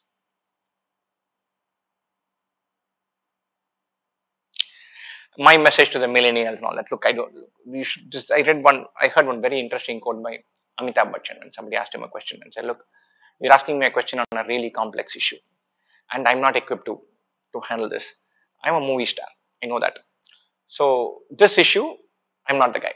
Uh, and then Amitabh Bachchan goes on to hawk several products hopefully i won't end up doing that uh, but look i'm not the person i'm not the person to answer deep religious spiritual questions i'm not equipped to, handle that uh, how do you maintain work life balance rather poorly actually just kidding uh, reasonably okay i think i have a, a, schedule at home i do have time for uh, the kids I, I have some time for myself as well i'm in rather poor physical shape i've had a bad COVID. I can't. I'm. A, I like moving out and meeting people and playing and talking and running. It's being constrained in a set of closed spaces is getting on my nerves. Uh, so I've, I've, lost my fitness dramatically in the last 24 months. Hopefully, I'll pick up the pieces and, and get going on that. That is the one piece in the jigsaw that has uh, been very poor for for me uh, and family. So I, I, we need to figure out a way to do that. But that apart, work-life balance is how do how do I do that? I don't get carried away with work. I can Can put it aside. I'm very very good at saying, hey, there's a problem here. This is big. This is huge. Uh, this is going to be defining. I'll worry about it tomorrow. It sometimes drives people around me crazy that I can just say. uh, I'm, I'm, I'm good at saying, look, this I can't change anything anyway now. I'll switch off. My boss, when I was in banking, said, you have a very, very pleasant Hindu way of thinking about things. That was his impression of what, what the Hindu way was. But there were times in my bank when, when there will be emails which says, look, uh, we are preparing for retrenchment, so counseling services are available for people who are worried. Uh, we have this, and 6% of our workforce is going to be rationalized. Uh, so do reach out to us in case you need help. That will come as a mass communication to all 10,000 people who are in that place. And very often I would be completely indifferent to the idea of that. probably because I was not madly attached to my job. It helps. Uh, but I was like, this is a job, doesn't me. If I get it, I get it. They pay me well, good. If they don't pay me well, I can go to another place. I'll take that. If if if it doesn't work and I have to start, I'll start. I'll do something else. I was confident in my ability to figure out some mechanism for myself, but I'm not too consumed in the idea of doing well on a quarter to quarter, month by month basis. So it, it, it this is not the only thing that I can be worried about and that I mean, it is kind of come naturally to some extent. Uh, being an entrepreneur changes that. Your, your quarter on quarter revenues as a company matter more to you than a month on month performance appraisal in some bank.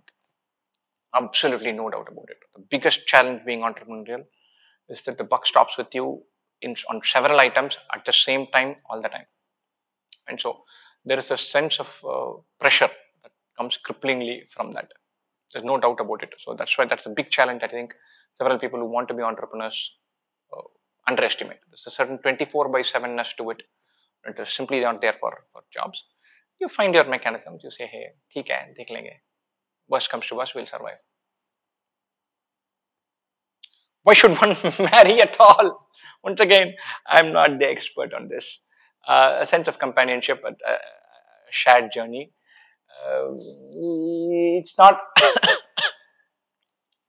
as um, cut and dried and not all in favor of marriage or all against marriage any which way. Uh, no one course decision is per se better than the other and it's heavily individual dependent but you're here you're going to go through a journey might as well have a, a companion for it if it turns out to be a super compatible companion brilliant but you should give yourself a chance of finding some form of compatible companion. Yeah, definitely. Should you always be politically correct in personal interview? Yeah, why would you not be? This is, is a trade-off. It's a 20-minute thing. You don't have to give away your strong views about uh, the hijab in that 15-minute snapshot. So sometimes I think uh, we should dial down our intent to provoke uh, that we usually peddle in the name of honesty. This is what I feel about. Why do I suppress it? You're not being dishonest to yourself but not shooting off your mouth at the first opportunity. Sometimes political correctness is, is, is made to look like it is one phenomenally bad, bland thing. Nothing. Political correctness is don't say something stupidly provocative in the next 15 minutes. That's all it's about.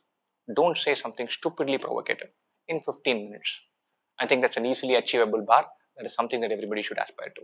An interview hall is not something to brandish your staunch credentials as a left winger, right winger, religious, atheist, any of those. It's not. That's not what you're there for. Your philosophical discussions somewhere else. And very often I find even the deep discussions are, are more provocative than enlightening. And so we should need to know, is it meaningful? Am I open to having my mind change? The answer is no, you shouldn't you have no business partaking in any discussion. You can, is it impossible to get decent sleep in IIMs? I slept well. It's all bakwas. You can sleep well. You manage your time well, you can sleep well. You don't manage your time well, you can still sleep well. Several times you don't you end up not sleeping well because you you engage in a long discussion or you're so worried about getting B plus instead of B minus, or you are out partying and wasting your time. And otherwise, you can find sleep. There'll be the odd week that gets cripplingly tight. Such is life, roll with it. This whole thing that the first term in IIM Ahmedabad really finds out who you're about. It's about handling that stress and lack of sleep and pushing you to the boundaries. You should you should see what doctors do when they are doing their their their rounds. This is nothing. You can't hold a candle to that. It is all bakwas. It's just made up into a, a mythical high intensity environment and they revel in it. Sometimes I feel for no good reason. When it's very imminently survivable. If you want to get good CGPA and excel in this and participate in that and be in this club and revel in your own glory of uh, not sleeping enough, you can find that. There are several people who are that. The, the, the mahal and the environment and the setting drives you towards that. But you can find your balance and by the time you're in third semester, you're comfortable. Your fourth, fifth, sixth semesters, you spend most of your time goofing off. The sixth trimesters, the last two are bakwas, just goofing off time. It's a four trimester thing. It's nothing.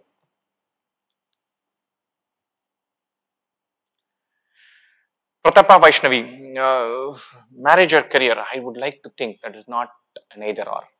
Right? So most people from typical Indian families face this. Your views on this? Uh, it is tricky. I'm not going to push it under the carpet. It is far, far, far trickier for women than for men. Uh, for a bunch of reasons. One is the way the system is defined, the way expectations and roles are defined.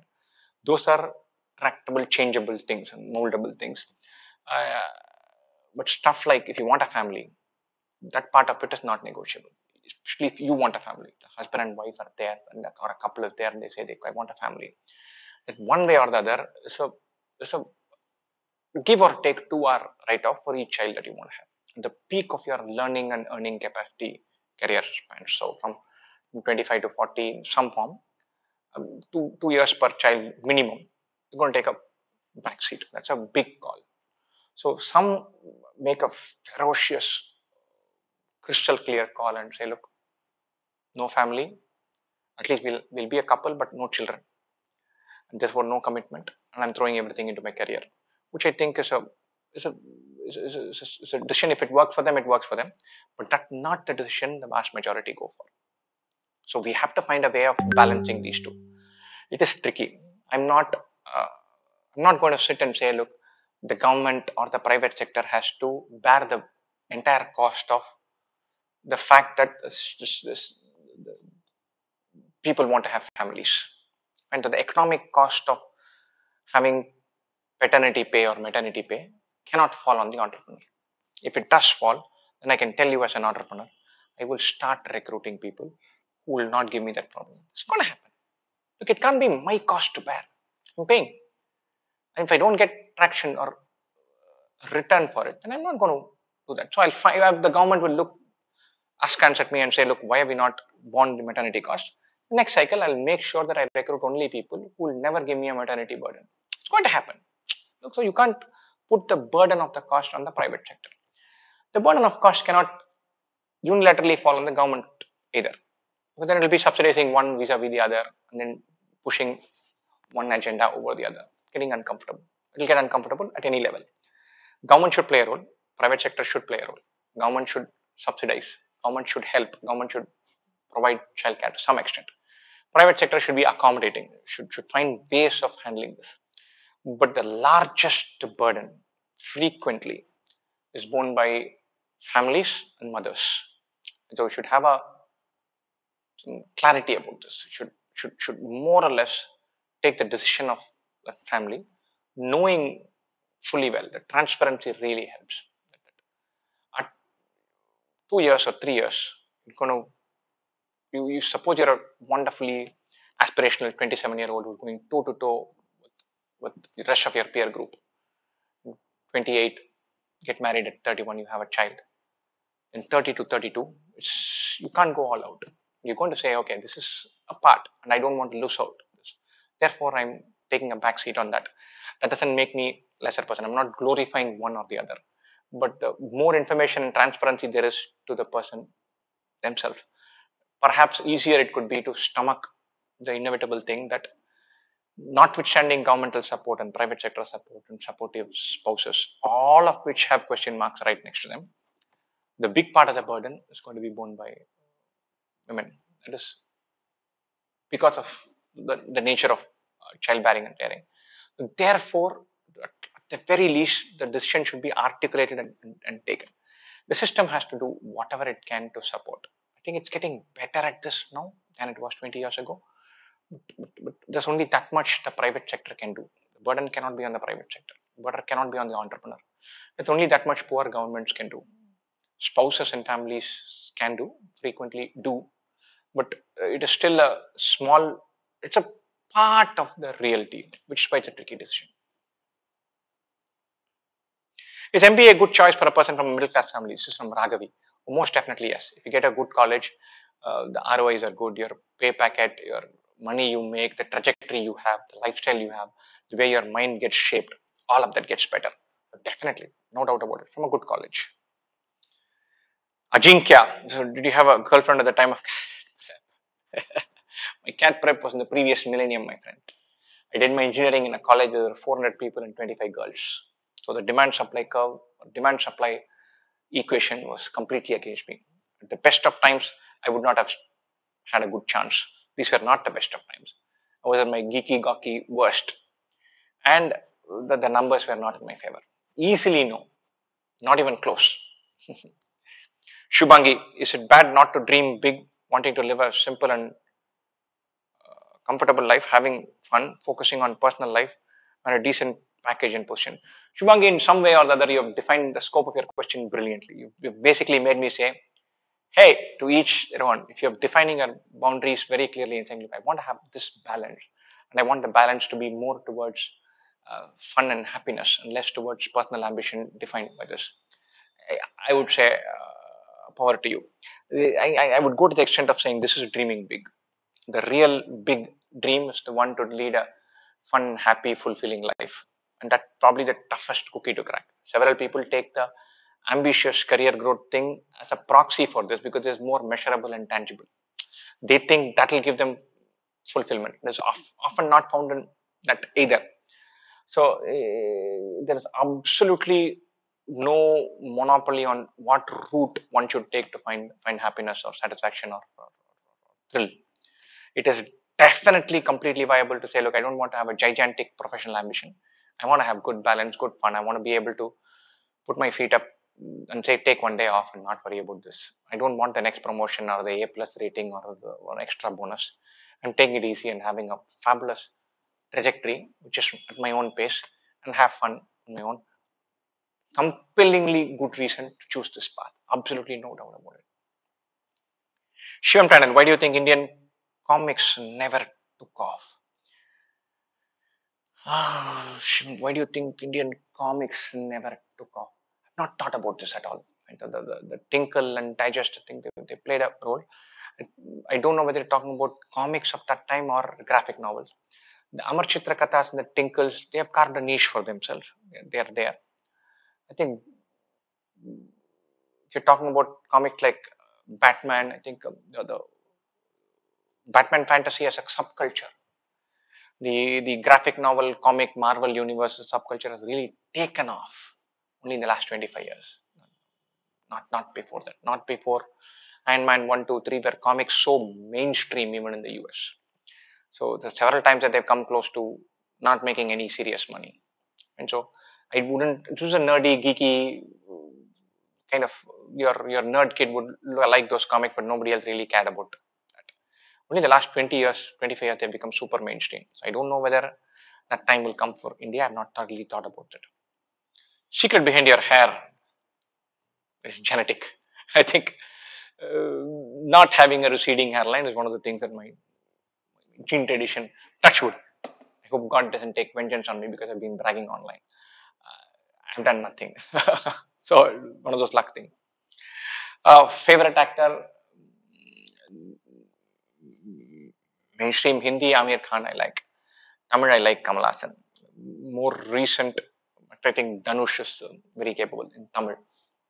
Um, in, in, specific roles, I've liked people. On my in, in Hey Ram, I thought Atul Kulkarni did a brilliant job. Like that, that that strand, that that, that that that part, that component he brought to the table. Um, I'm a big fan of Naseeruddin Shah. The, the, way he can he can nuance and show within without being histrionically uh, without being over the top, he can bring in nuance. I think it's a rare trait. Understated acting is a very rare trait, especially in the Indian setting. I think he does uh, brilliantly at that. Why did you resign your uh, IB job? Any tips to get into IB jobs? Uh, investment banking jobs, I didn't, I didn't like it much. Uh, I wasn't thrilled by it. I didn't get an intellectual kick. I didn't get any job satisfaction kick. Um, they gave me plenty of money kick. I was getting caught into a lifestyle which I was not uh, really taken in by. I knew always that the lifestyle that my wife and I wanted, we didn't need you know humongous salary. Uh, I always wanted to be in the education sector. Therefore, it's a combination of factors. Tips to get into an IB job: do well academically. Do well academically. If you're in an MBA, do be in the top 10%. If you're a chartered accountant, do well in your job. If you're preparing for CA, be at anchor. So the roots is to stand out academically. Anonymous girl, could you please talk about doing PhD after MBA? I'm thinking to make my career in, oh, it's a wonderful, wonderful option. You get fabulous FPM options in IIM Ahmedabad, Bangalore, Calcutta. Far less uh, lower percentile cutoffs, good course, well defined. It's heavily dependent on your teacher. But if you get a good prof, it's, it's a wonderful journey. They let you dwell on ideas, they let you think about academics. The, the route to both industry and academia is well defined. You can work in industry for a few years, then go to academia, or the other way around. Uh, it's uh, the scoping of what you're about is more in your hands if you want to do a PhD. But the IIMs, the top few, definitely offer a beautiful platform. The professors know their stuff. The setting is good. Um, the, the stipend and hostel take care of themselves. If you if you feel like you could have a compellingly good career in academia, you like that, then the FPM is a very good option. Sir, why are colleges having a predilection towards non-engineers and females and scrapping off the merit that male engineers get with effort? They're not scrapping off the effort that male engineers do this. It's, it's they firmly believe that uh, diversity brings something to their classroom pool. They firmly believe that it's not made up, it's not dressed up to look like that. They firmly believe that. And so, I'll give you an analogy. You could be, uh, all of us have some favorite foods. Right? So for me, it's dosa. Right? So, and for you, it could be aloo aloo paratha. So it could be whatever it is. And you say, look, I'm going to have dosa every day, Monday to Friday, morning and evening. I know, I'm sure. By Saturday, I'll be like, look, let me try an idli or a puri, something else. I'll try chole bhature. So that variety adds something. It'll add something to my dosa experience next time around. So they're not saying I'm anti-engineers. They're just saying I don't want 70% of my batch to be engineers. So first of all, we need to, as engineers, I'm an engineer, and I've been super aggrieved by this. And I've been, I've asked rabid questions when I was 21, 23 uh, in college. I've, I've had some of my girl classmates, and I'm like, why should I believe your your IQ brought you here instead of something else? So I've asked that question. I've known them well, so they have treated me kindly. They've argued their corner really well, and some of them, in some ways, they've changed my mind, they've changed my opinion. But uh, it is very important to understand that there is no agenda here. First of all, they're not anti-engineers as much as they want to say, I cannot have 70% of my batch being engineers. Right? They're not anti-men as much as they're saying, I want to have 20% of my batch or 25% of my batch to be females. We just had a, uh, a discussion on family and career. Does there, does there need to be a trade-off? We said, look, women are making that choice. They're having to make that choice more so than men. So the system has to support and offset it in some form. One of those offsetting mechanisms is admissions into B schools. So there are more women candidates, the companies will recruit more. Companies will define policies to accommodate the fact that people have families. And it's a very important factor. People do have families. And so all of you men out there, when you when you get married and you have children and you recognize that at some point of time a slightly higher share or a significantly higher share of child care is borne by the woman. Child bearing is definitely borne by the woman. Men role in that is minimal. Fine. So therefore, there's a certain level of inbuilt breaks into the career of women automatically. And there are several constraints that women face that men don't acknowledge. Therefore, they're saying, look, I want to offset this balance a little bit. And I feel that women bring something to the table that uh, maybe typically all men don't. Therefore, they're firmly rooting for the sake of diversity and it's not anti-engineer or anti-male. It's very important, very important. And the biggest problem the world has now, one of the biggest problems that the world has now, is the victim complex of the majority community. Everywhere in the world it's happening. Everywhere, across the world. The majority grouping in any subsetting, they are feeling like they are being, victimized. 25 years ago, 30 years ago, 50 years ago, it was the other way around. Now it is this way. It is very important to know that every SOP or privilege or um, uh, offsetting thing given to one subsegment is not per se motivated by anti the main incumbent. It's not anti engineers as much as a SOP given to non engineers, as much as a SOP given to, women. So one premise that they firmly believe in at, a, at an intellectual level, not because they want to to showcase something is diversity. They firmly believe that having different kinds of people from different walks of life, different geographies, different locations, different languages, different subcultures actually makes a difference. They believe that and they do a lot of research pre-post with data and numbers. And I think they're entitled to that belief. They've had it verified. First of all, we've got to say they're anti-engineers. They're not. They're not. It happens to be that engineers are the biggest incumbent group. Anytime you create mechanisms to create room outside, the incumbent group struggles. That's the nature of groups. And so the, the price is borne, but it's not because there's an agenda against male engineers. It's very important to keep in mind. Um, the, the challenges faced by women or disadvantaged communities are there. And sometimes we feel based on one uh, one anecdotal example. We feel like, look, I went to school, my friend went to school, both of us had the same upbringing throughout, and but he can get into a college at 75. I need to get 97. It's true. Very often, some of these spillover advantages are, are enjoyed by a small percentage of people who are the ones who are utterly, completely undeserving of getting that advantage. Nature of life. Uh, but within that community, within that subsegment, I think women have some pressures in some form or other that uh, young men perhaps do not completely understand. So when, when, when, when system is making that advantage, give the credit to the fact that these professors, these systems, these admission committees have thought long and hard about this. You care about merit in a system. The guy's been running the place, he's a director. He'll care about the merit of every single person entering that system. They think of this as a responsibility to the country. They don't take admission process lightly. They worry about every candidacy. They worry about where they go 10 years from now, 25 years from now. They have reams of data to fall back onto. They are not willy-nilly sacrificing merit to run an agenda. They believe that diversity plays a role. They believe that women bring something to the table that is essential for men. And they, they, they have their head and heart in the right place. So sometimes the, the, the, if you're not appreciative or completely not clear about why it's happening, give them the benefit of doubt. Any which way, don't think of this as a as something where you have been victimized for some reason. Avinash, you look like Tamil film director Gautam Vastuthevan. Just when I thought the chat was going very well. And so, thanks, but no thanks.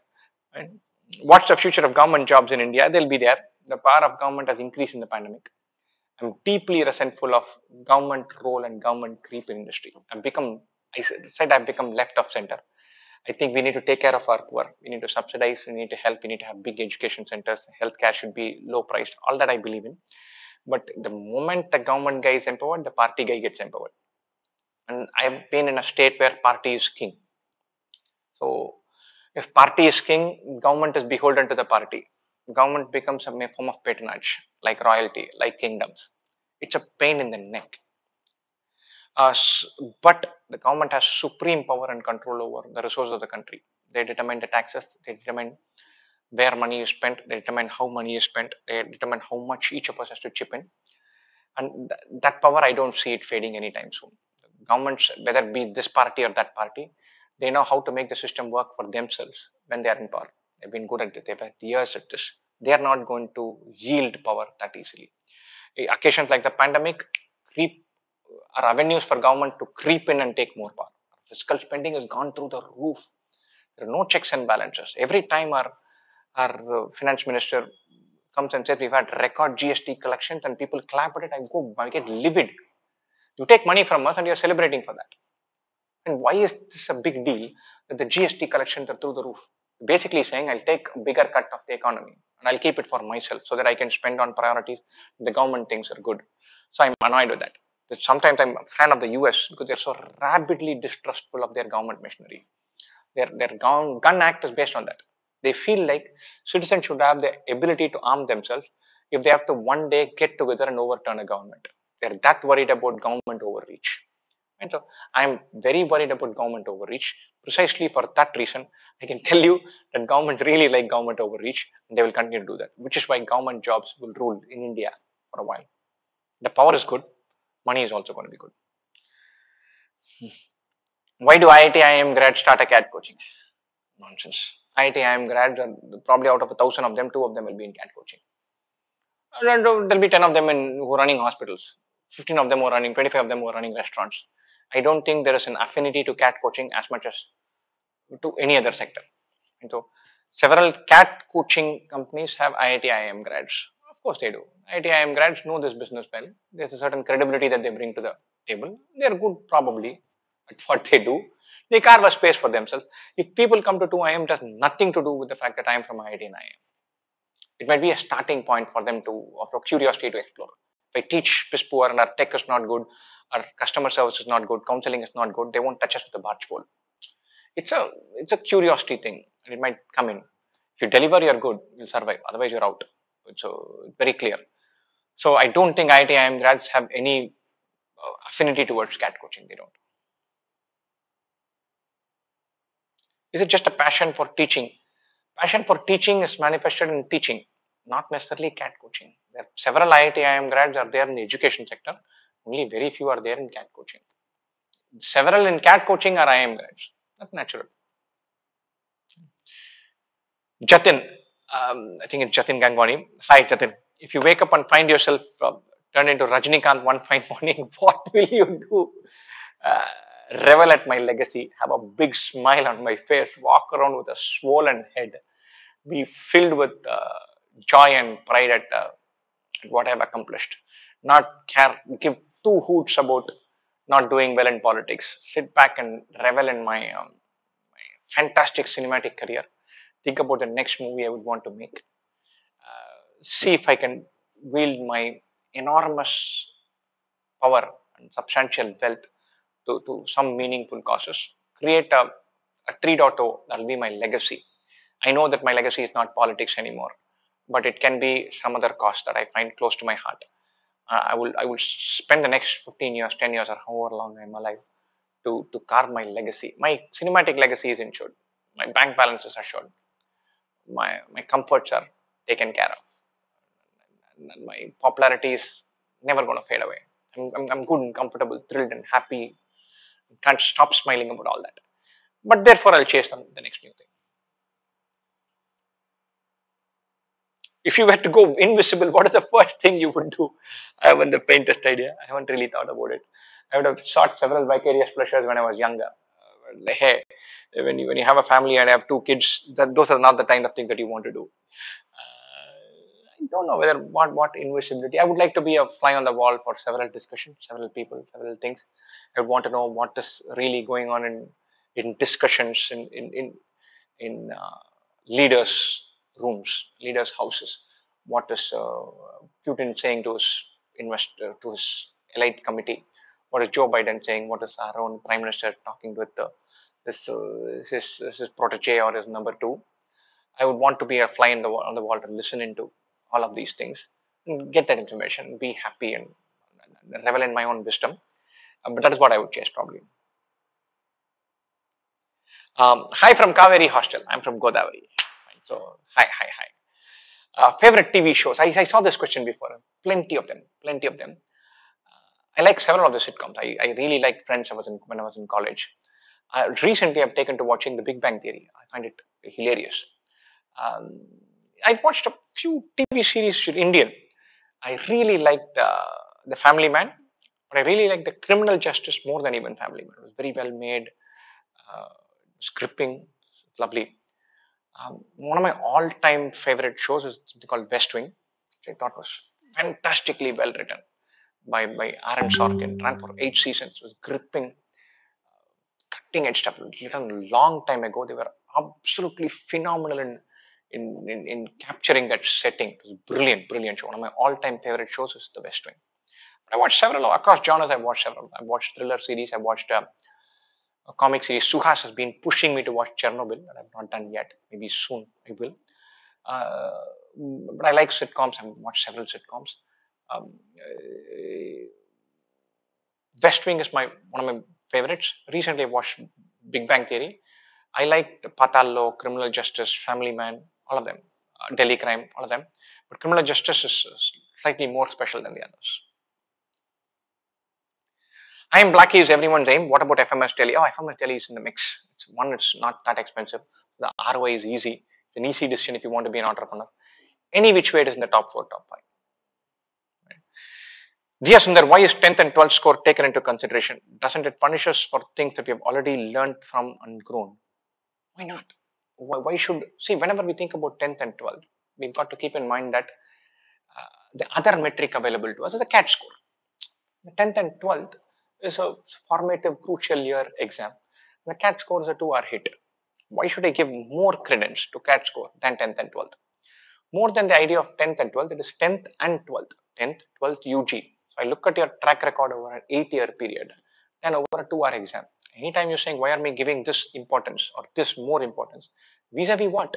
Vis-a-vis the CAT score. If you're arguing for less importance of 10th and 12th, you're arguing for more importance for a two hour exam. If that 10th and 12th is not important, why is this CAT score important? Right? One. Two, we've said what are the things that you've done from uh, already learned from and grown. We are very, very usually we want to draw a line and say, look, I made a mistake. Done. We deal with it. I've dealt with it. Let me go to the next one. But if it's one off, usually it, it gets forgiven. If your 10th, 12th, or UG is a little low, it's forgiven. But if 10th is 94, but the 12th one is 78 and UG CGPA is 7.1, then it's not as much as a blip as a trajectory. It says you like it when things go your way, but you don't have the ability to fight back when things get rough. And I've seen academic correlation, correlation between academic success and diligence and ability to deliver on jobs to be very high. The, the great flair idea giver rarely sees through a project. The, the genius who comes up as a problem solver can't sit and define his role every week, every month, week after week, month after month for years. And if I'm looking to recruit for a career, I want diligence more than flair. I want somebody who's disciplined more than a genius. Right? So therefore I want balance. I want the ability to bounce back, ability to come back and, and hang in there. That the longer track record gives me. The correlation between academic success and and professional success is high, much higher than people think it is. Uh, Kevin, senior level marketing roles versus top level investment banking roles. What are your overall thoughts about these jobs? Depends on the place you're working, depends on the canvas you want, depends on what gives you the kicks. Uh, you'll realize that as, as you go higher and higher in your career, the, the, the marketing jobs, revenue, and finance responsibility is high. The finance jobs, marketing responsibility is supremely high. The top investment banking jobs you have, you're, you're relentlessly hawking yourself. You're selling your brand as a deal maker so you could be a deal maker in a sector, you could be an analyst in a in an industry in a, in a, in a vertical, or you could be the guy who moves the market. Any which way, you're selling your brand. So all of us know Rakesh Jhunjhunwala because Rakesh Jhunjhunwala has marketed Rakesh Jhunjhunwala better than be a great stock picker. And so it is heavily about marketing. So the, the, the role definitions are not so clearly just marketing or just finance. What gives you the kicks, that will be the thing that you will drive towards. Huh, sir, what are your failures in life? Not a confessional, my friend. YouTube channel is to talk about all the good things. Uh, failures, plenty. Uh, not having, uh, on a personal habit level, I, I, get worked up frequently. I get impatient with the with the kids. As a as a person and partner, probably I've not been uh, balanced on occasion. I've gotten carried away with one thing or the other, been too impulsive without processing things through uh, as an individual, I'm not as organized or as disciplined as I would like to be. It's an issue. As, uh, as an entrepreneur, I've not been um, as ambitious as I might have been in crucial moments, and as driven as I could have been with, a, with a clearer execution plan as I could have had. Crucial moment. I get carried away with with a, with an idea rather than thinking anally about execution. I, I would not put any of this as a big failure. And by, by most standards i'm not a major failure. So i don't i don't want to humble brag and say i failed in this majorly. It's all right. Life goes on. I'm not a big hit or an example in anything but i'm not a failure either. What is your age? Unfair i'm 42 i'm 41 going to 42 if not at tech where you would have found yourself i wouldn't i don't think I've, i would have been happy with a job when i was in a banking job i would have taken that if i'd been i'm prior to that i was in a sales job I would have taken that. I am reasonably capable of grinding my way through a job and enjoying myself in that job in that context, not letting that bother me, finding something else. I would have probably found an avenue to teach somewhere or the other. I like teaching math. I could have been working in a bank and teaching math on the weekends or creating good questions and, and doing something with maybe a YouTube channel. So that would have been my get out of jail clause. And this is what I enjoy doing, double down on that. And work and get a pay for whatever I was doing, delivering on that front.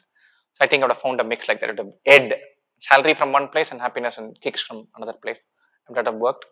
Uh, investment banking might have been the obvious choice because I've done that. And for all my cribs, I, I did reasonably well in that. I had enough to survive and do well and have a 20 year career in investment banking. It's not rocket science. I might not never have been uh, the gold star banker, but I'd have merely survived and done well and gone from associate to director to whatever that, that, that career progression is, I would have gone through that. Muthu, would you buy LIC shares on its IPO? I have the faintest idea, my friend. I have not invested in an IPO ever. So I don't know. What do you think of the current Indian stock market trends? I don't know. I don't know whether it's P is high or low. I would love to see a bunch of companies which I think are weirdly um, not value adding to, to struggle. I think a bunch of companies that are new in the new age economy have captured the imagination of investors and consumers and are not really reliant on sound business models or good business practices. It seems like I sound like a bitter guy, but I would love to see a bunch of them go bust.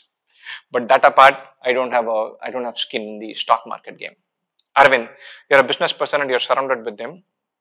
Why not add basic business courses on the learning platform you've already built? See, I, I'm I might be a decent doctor, but I won't know how to teach medicine. So people know one thing, just knowing one thing and knowing to teach one thing are dramatically different things. I'm I, I'm very comfortable teaching quant or logical thinking or building pedagogy for that, uh, and I love that. that. That's my thing. There's one thing that I'm super confident that I'll be uh, among the best in doing is in teaching math across levels. So if you want me to teach math to six-year-old, seven-year-old kids, I'll be thrilled to bits, and I'll come up with methods to engage them and build abstract thinking in them. Six standard, seven standard kids, I'll go toe to toe with the best in the world in creating pedagogy. That's my dream. That's what I want to do. And I'm super confident that I not only know the fundas, I have an intuitive grasp of the fundas, and I have the ability to break and reconstruct that so that the next person can get the intuitive grasp of the fundas. And so I'm very confident of that. But if it is something else, I, one, I don't know whether I'm good in business. Two, I don't know whether I have a grasp intuitively of how business models work. And three, I don't know how to, whether I can crack the idea of teaching this. So, so definitely no. Have you seen Black Mirror? No. How to love quant? Do it from first principles. You love quant. Stop and dwell on ideas. Draw connections. Draw links. You'll, you'll love quant. Ravi, why did you not go to the US for higher education? Um, back when I was studying in college, the higher education to US route was for MS. And I've said several times over, in engineering, I was not a good engineering student. I was um, I loved my maths and physics. I think one of those one of those uh, conceptually comfortable guys who was happy dealing with ideas and uh, less at home with the physicality that is super important for engineers. And I had a friend who was a mechanical engineer uh, whose idea of a good summer vacation day would be to rip out its cycle and put it back together again.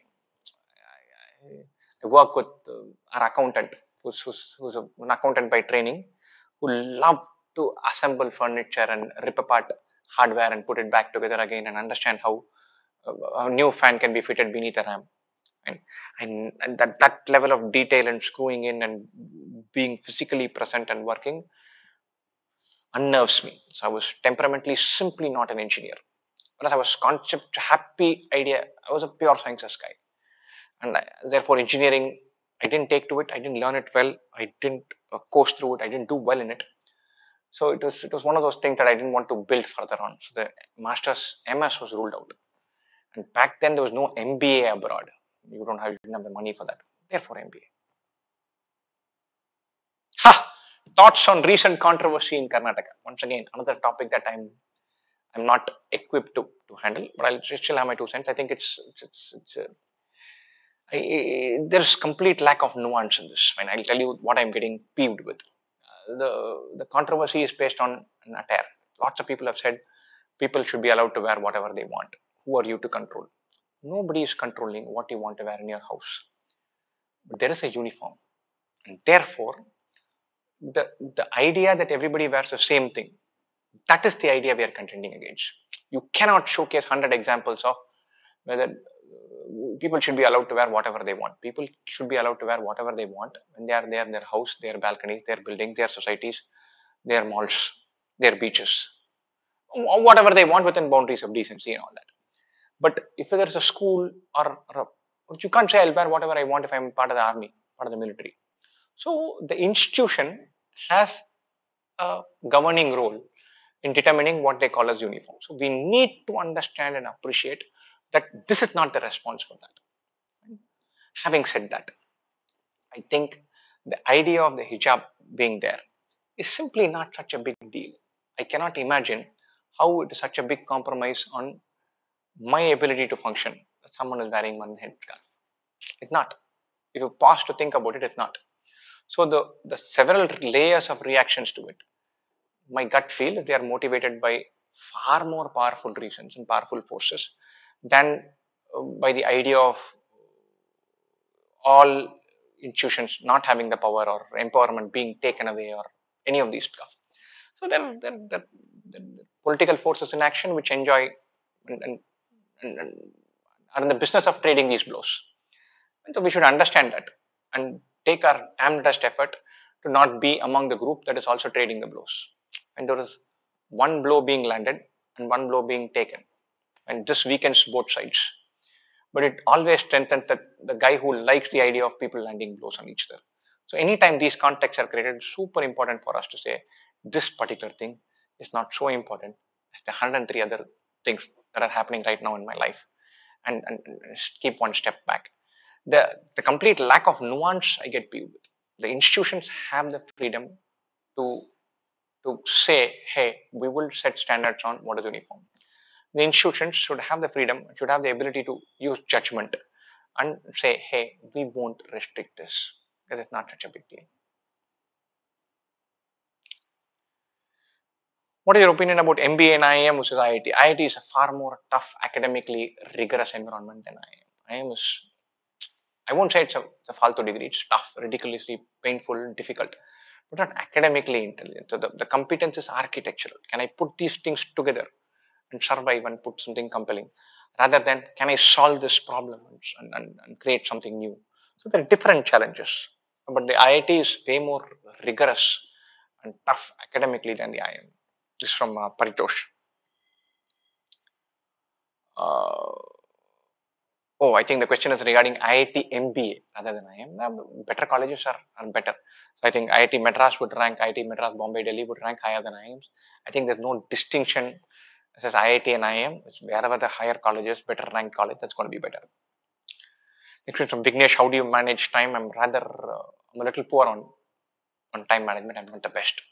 I have um, burst of productivity and lulls following them. Sometimes when I sometimes I, I want to write a good email and it takes me three, four hours to draft two paragraphs. I walk, I do this, I, I get into a block, I get into a funk, I switch off, I watch some TV, I watch some sport, I watch some absurd stuff on YouTube just to say, okay, it's not working, I'm going to take a break. I take several of those breaks over periods of time which are long enough. I think I'm reasonably productive on a sustained basis but on a, on a day-to-day basis i'm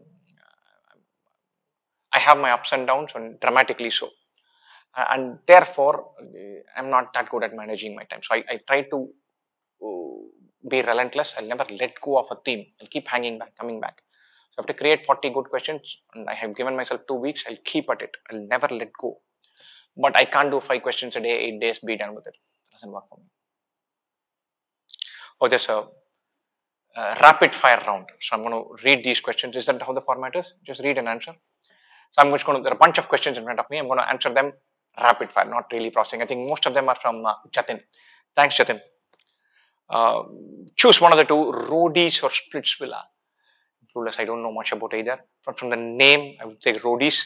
Splitsvilla seems like something about uh, corny, broken romances. So not my territory. Therefore, Roadies. Federer or Nadal and Nadal. Federer for the beauty of it, but Nadal for uh, the grit. Nadal for the grit. Messi or Ronaldo? Messi. Messi is otherworldly. Ronaldo is a better player in each of the attributes. Messi does things that I can't think of. Ronaldo is a better header of the ball than 99.9% of footballers. He's quicker runner, more control. Everything other footballers do, Ronaldo is a 20% more guy, which is brilliant. Uh, but Messi is the these guys can do this. Uh, you add 20% more to them, they still can't do that other thing. That's what Messi is. Messi is what Messi and Federer are similar, but I like Nadal as a, as a, as a character and personality and the way he conducts himself. That element, I love Nadal for that.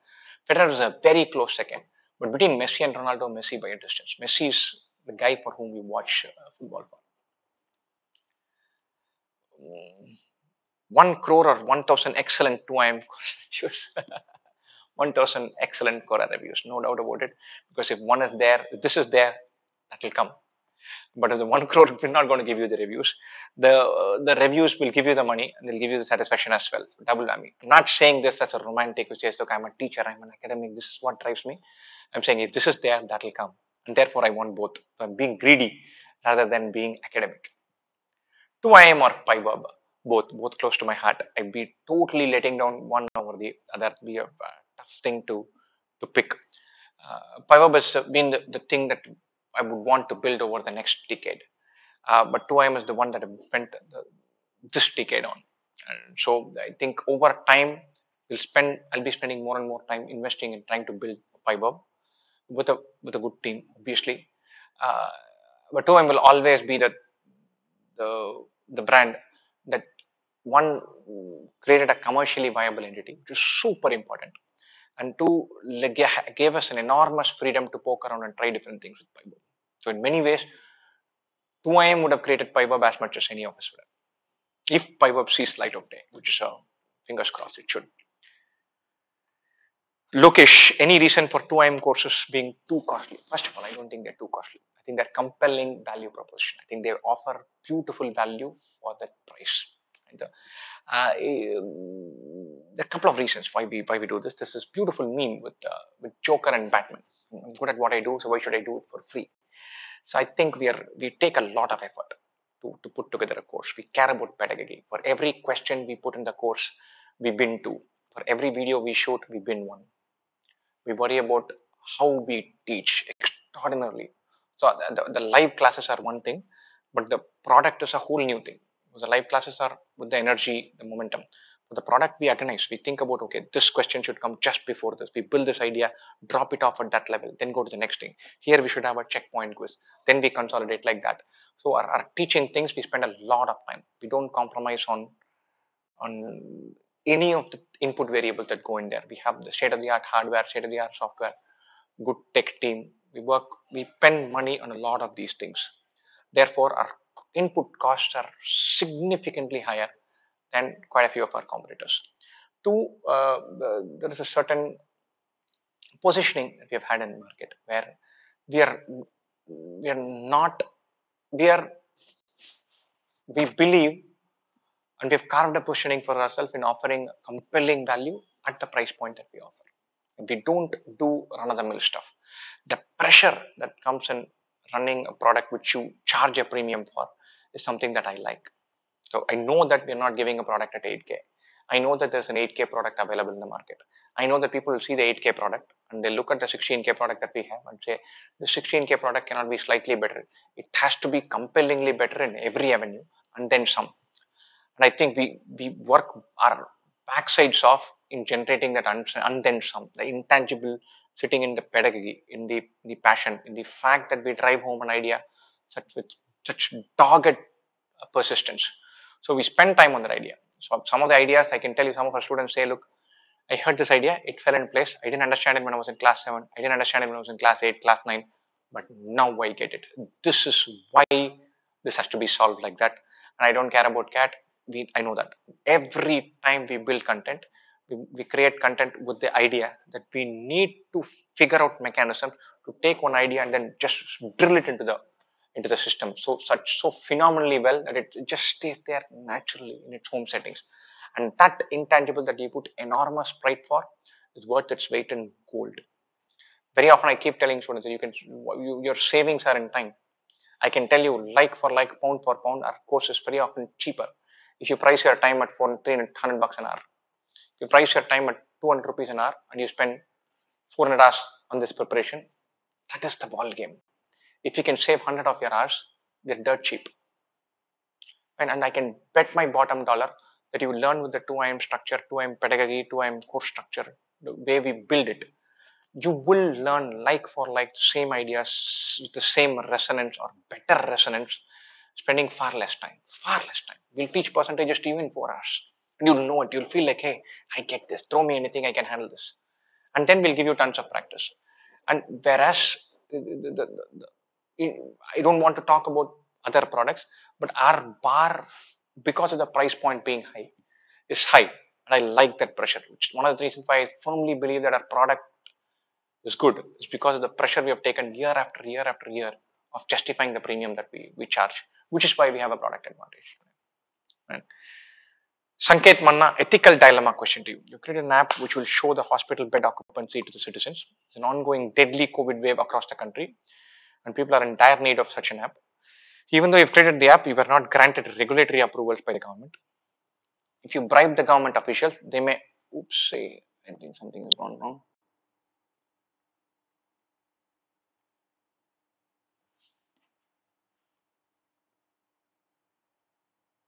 Oops, I seem to have lost my entire screen. Hang on. I will find this. Thankfully, it is opening the same page. I think I closed the window. Sorry about this. Uh, if you bribe the government official, they may expedite the approval process. If you don't, it will take another couple of months and many people may lose their lives. What will you do? I'll bend over uh, backwards, put fight. Um, this is not an ethical dilemma as it is a legal dilemma. I don't think one is a function of my competency, one is a function of how I will go about it. I will uh, try to become the provider who then sells this app to somebody else and say, look, you do it. I don't think I have the ability to actually be in the line of fire and hand the bribe and get this going. One of my limitations. I'll have to face up to that. I won't sit here and moralize about the guys who actually do it. Sometimes this is how the setting is. I can tell you that in all honesty, I can't be the guy who strikes the deal, hands over a briefcase, make sure this happens, ticks the boxes and live in that world. So I'll find a work around it where I'm not in the line of fire. I firmly believe that it will save lives and that it has to be done. The government machinery is dragging its feet. I'll find the best buyer for my app, sell it to them and say all the best. Jo karna karlo. I won't feel bad about that buyer then using other mechanism to get it done. Such a life, this is the way it is. My inability to be able to do the last mile thing will prevent me from doing it. So I'll find a workaround, give it to somebody and be done with it. Is PipeUp for kids only? Uh, I enjoy PipeUp questions and videos. It's not for kids only. So it is uh, most definitely not for kids only. We create lots of wonderful non-routine questions. I'm a firm believer that some guys have an advantage over others, not because they do the mechanics better, but because the idea fall in one way. You look at the budget, you hear the budget speech, the guys who know their stuff know the implication, know they under, understand all the element. They know that this drives this, this will have this impact. For others, rest of us, it's just a bunch of facts. We reach a snapshot, we, we carry on. For several people, when you read a context, the data falls in mind in one nice, together gathered way.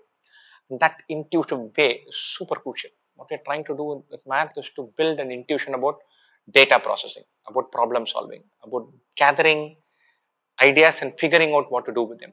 It's applicable for anyone.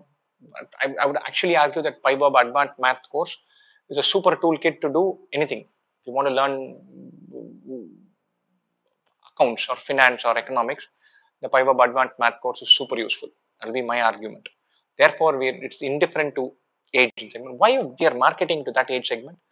Beautiful formative years. A 10 year old is the one who you can teach problem solving to bit by bit. They'll hang in with you and you can push that over 10 year horizon, 5 year horizon. Lovely segment to address. Therefore, we'll go. So we have a, uh, for PipeUp, we have a math Olympiad coming up this weekend. It's open from Friday to Sunday. So uh, it's, it's a beautiful exam. It's a lovely exam. I would have loved to write this exam as a 10 year old, 12 year old, 13 year old. So we, we, we, are, we created some bunch of good questions. Should be lots of fun.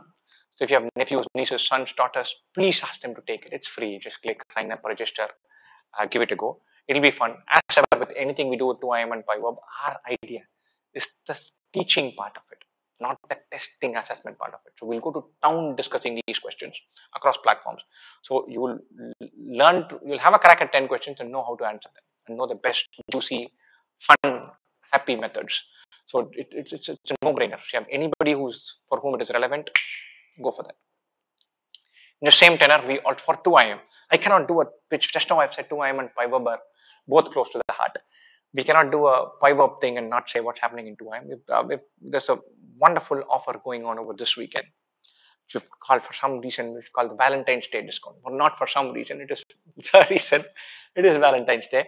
It's a look. All these uh, artificial markers of Valentine's Day, Independence Day, Jan 26, Republic Day, all of these sometimes it's like look it's a day. Why are they peddling products to me? Why is there a commercial implication for any celebration? There need not be. The other way of thinking about it is hey it's it's another avenue to say hey i'm ambitious. I have this project. I need to dive in. It's an opportunity. Let me take that. Let me grab that. So there is an opportunity today tomorrow day after to say hey I'm, i like this. I've always been thinking about cat coaching. These guys are definitely know their stuff. They are expensive but they are so cocky that say they, they deserve to be tried out.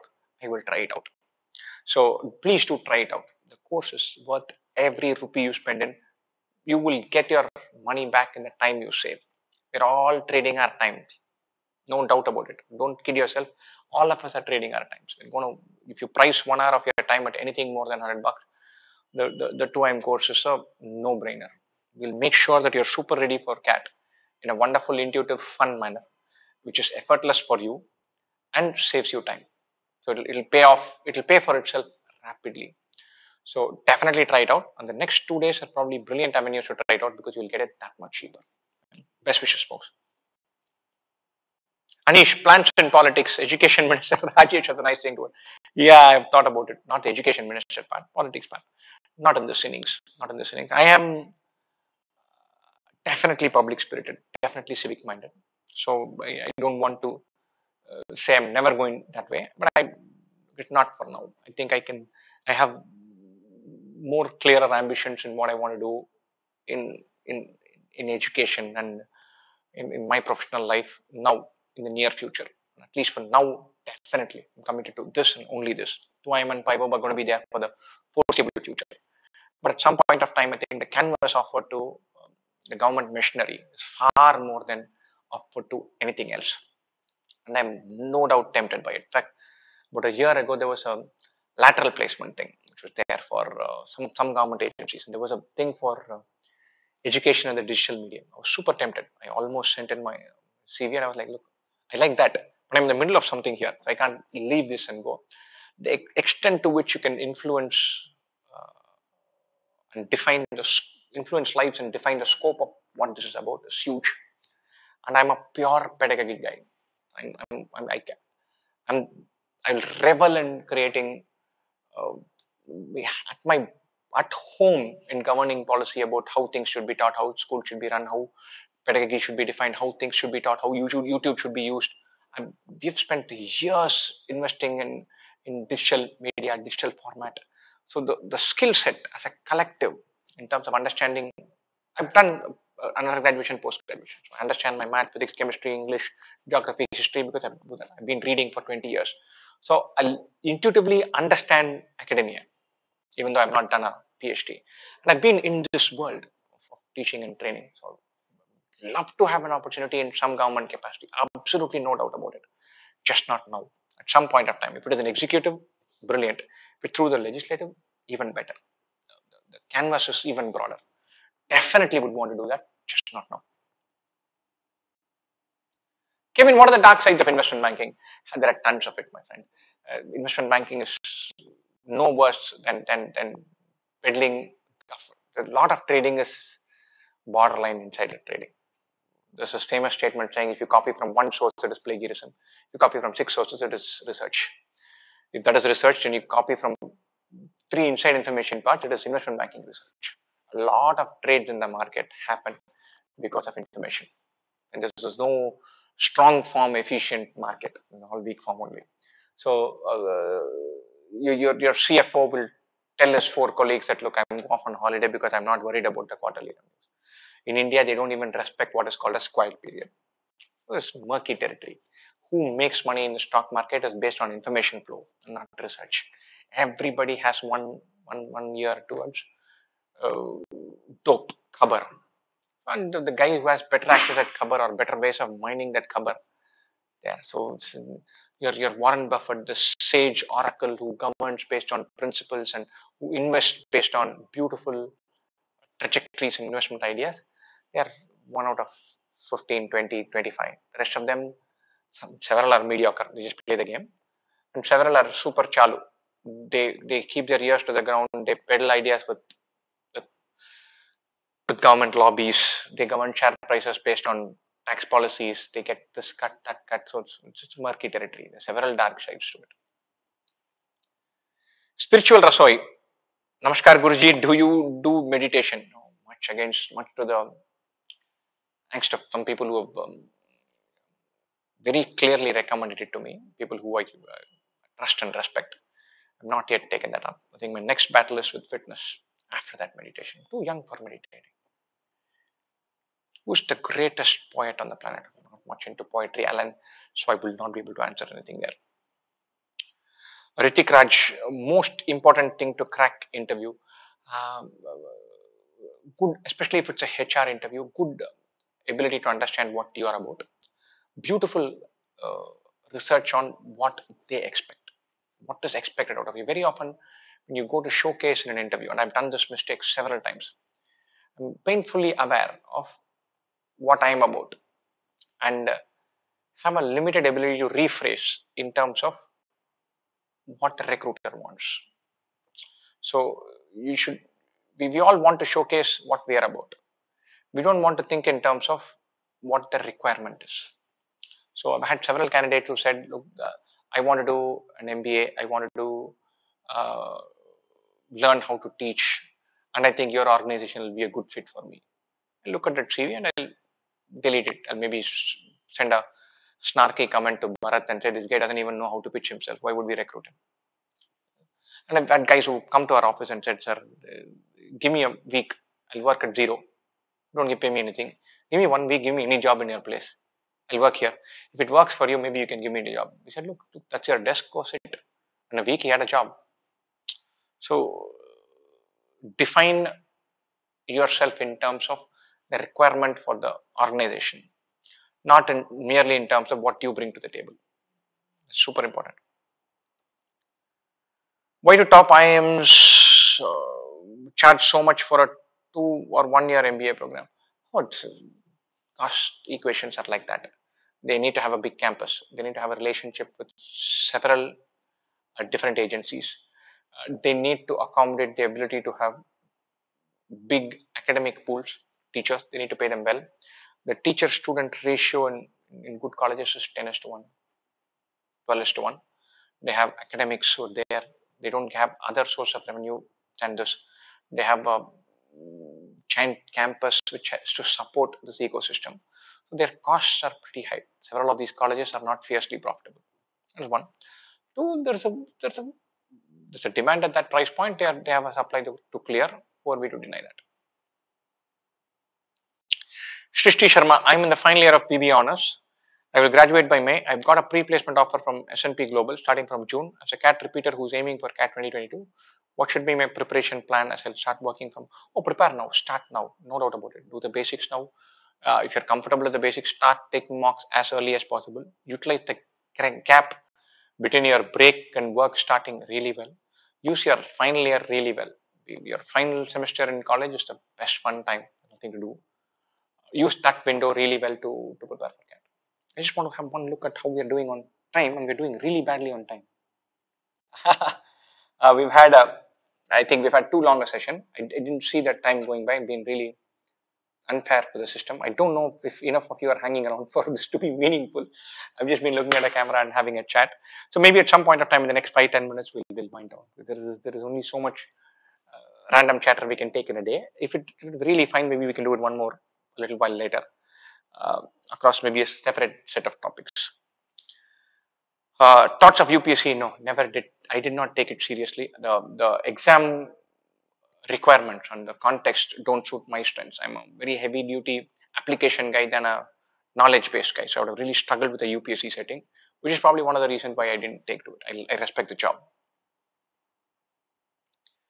Is it okay career wise to start working at a startup in a non tech role? This is Vasuprada. Oh, most definitely. You learn tons of stuff in interesting startups, especially ones that are transparent and based on sound business principles and, sound ethical principles as well. You learn a lot. Uh, and that is worth something. Definitely worthwhile. Abhishek Kumar Singh, can India develop, become a developed nation? I doubt it. The gap is huge. The track record of companies transitioning from developing to developed is minimal. Singapore managed it, probably South Korea managed it. There's practically no other example of that happening. I'm not overly hopeful of it happening in my lifetime. Having said that, being a developing country, being an upright, good one, treating its citizens well, helping them live fulfilling, happy lives, very much possible. That's what we should aspire to. Anandu, how do you avoid burnout during preparation? Define preparation as a separate thing, not completely contingent on the result. Enjoy the idea of learning math, learning English, learning puzzle solving. Don't define it in terms of, okay, I need to get to this college pronto. Ravi Chauhan, why South Indian teachers are so polite and down to earth? I don't think, I, I sometimes think some of the North Indian teachers are phenomenal. Their, their ability to reach out to an audience is uh, sometimes better than South Indian teachers. South Indian, North Indian teachers bond with their uh, students better. They, they connect with them more um, more personally. Perhaps I think that the respect culture in North India is also very good. There's always a sir. The people they, they fall at the feet, and the guru is special in North India, which, which just, sometimes I think they're. I don't. I'm not used to being uh, given so much respect with some North Indian students, so I, I get like slightly well, like, okay, why is this happening? I get unnerved by it, but I like that subculture. It is nice. So I don't think there is any difference in terms of how passionate North Indian teachers are, how, how compellingly good they are, and how down to earth they are. They sometimes define the scope of their role broader than South Indians. South Indians are sometimes dispassionate. They think like I'm going to teach this. I'm not moralizing. I'm not going to say how you lead your life or govern your other decisions. I'm teaching this and I'm heading out. Whereas North Indians have more of a stake teachers have more of a stake. Generally, I'm obviously stereotyping. This all, I, I don't think South Indians are per se more polite or down to earth than North Indians. Why don't you start Twitter spaces? I don't even know. I don't understand that world well. Maybe Bharat will soon. I'm going to wind up here, more or less. Maybe one or two one, question. Anshuman, an Arsenal fan here. My question, which football team do you support and why and when did you start supporting them? support Barcelona. I really fell in love with uh, Spanish football I, I, started following football in 96, 97. 98 World Cup was a big deal for me. I watched 94 World Cup, uh, which I think had uh, Romario, Bebeto, and a good Italian team. The 98 World Cup is the one that I understood really well. I was a big Brazil fan by then, so I had a uh, fan of Ronaldo, and then Zidane ruled that World Cup. And then I, after that, I, I, suddenly saw European football, and I was like, look, I'm getting a hit once in four years from world football. Then there are Euros and European football, which is lively and at a high level. And I fell in love with Spanish football because it was filled with Brazilian, Argentinian players. Back then, the, the big two, always the big two teams have been Madrid and Barcelona. I, I really liked the Madrid team because it, it had a. I didn't get the Barcelona team. Madrid was the dominant team then. I didn't know the subculture, the, the, the Catalan story, their philosophies, their beliefs, what they were about the incumbent dominant team was Madrid. It had Roberto Carlos and wings, it had Miguel Salgado, it had uh, Fernando Hierro. Then they got Figo, then they got Ronaldo, then they got Zidane. And they had a they had a guy called Santiago Solari, they had Raul and Morientes. It was a vibrant, beautiful team. Um, uh, so I, I, was a big Real Madrid fan, not even a Barcelona fan. Back then I didn't understand. I still remember a conversation with a senior. He said, look, which fan are you? I said Real Madrid and Barcelona. It's like, look, dude, you can't like both. I didn't know that you couldn't, you can like both. But I didn't know how fierce the rivalry was, the history or the cultural context, none of that. And then Rijkaard and Ronaldinho happened. And Beckham went to Madrid, Ronaldinho went to Barcelona. That was, was, was like a switch flipped on for me. I was a gigantic fan of the brand of football Ronaldinho was about and I, I, I didn't get Beckham. Beckham was a compellingly good footballer, not just a sporting personality, but a compellingly good footballer. But Beckham was all hustle and, and perseverance, and, and, Ronaldinho was all triangles and cute touches and genius. So I fell in with that, love with that Ronaldinho Rijkaard team. And ever since then, I've been a Barcelona fan. I, my Barcelona fandom predates even Messi. I was a big fan of Andres Iniesta before uh, even Messi. There you go. Akshat Gupta, what skills should I look to pick up uh, during MBA at IIT Madras? Learn your, do your academics really well. Have your uh, ears to the ground. Uh, whichever stream you're going to, uh, being multi-skilled is super important. You need to understand how to pitch an idea, how to edit a video, how to understand Excel sheets. Those skills that you should, you should, you should, you should pick up do well academically, unwittingly you will end up picking up. It has been a long evening. I'm really sorry, Akib got carried away. So Akib has been hanging in there for a long time in our office, going late into the night. I'm, I'm, i hope I haven't bored all of you, bored too many of you. I had good fun. We've been meaning to, we've been saying we'll, we'll do something like this for a while. We've been kept on deferring it for uh, more meaningful, relevant uh, cat stuff this is fun. We should shoot the breeze every now and then, not, not worry about it. We can do this in February. Probably can't do this in August, where we are in the midst of um, mocks and mock taking session and all of that. So it's good fun chatting with all of you. Many, many thanks for um, uh, handing in your questions and hanging in the chat window and having and just being there with us through this the whole session. Uh, please do check out the, uh, the, the the 2IIM course, patronize that, become a trial user, go through that. It's compellingly good. We have a wonderful discount running over the weekend. Please do check that out. Check the course out. Will, uh, I'm sure that you will be able to appreciate the course in some form. And then you take the decision on whether you want to buy or not later on. Definitely take time out to try out the course. I'm sure you will you'll veer towards buying it. Like our channel, subscribe to the channel. We're we're we do fantastic stuff on YouTube and we, we really enjoy doing that. So please hit like on this video, subscribe to the channel, click on that bell icon, do the, the whole bells and whistles. Uh, we love doing YouTube sessions and, and, a big part of that is because we love the, the, feedback and love and affection we have from, from, from our, our community on, on YouTube. Please continue to patronize us and, and hang in with us on YouTube.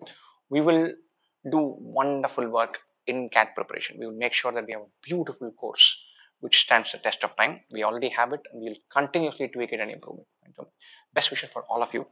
Many thanks for hanging around with us for this long and apologies for rattling on this long. Cheers.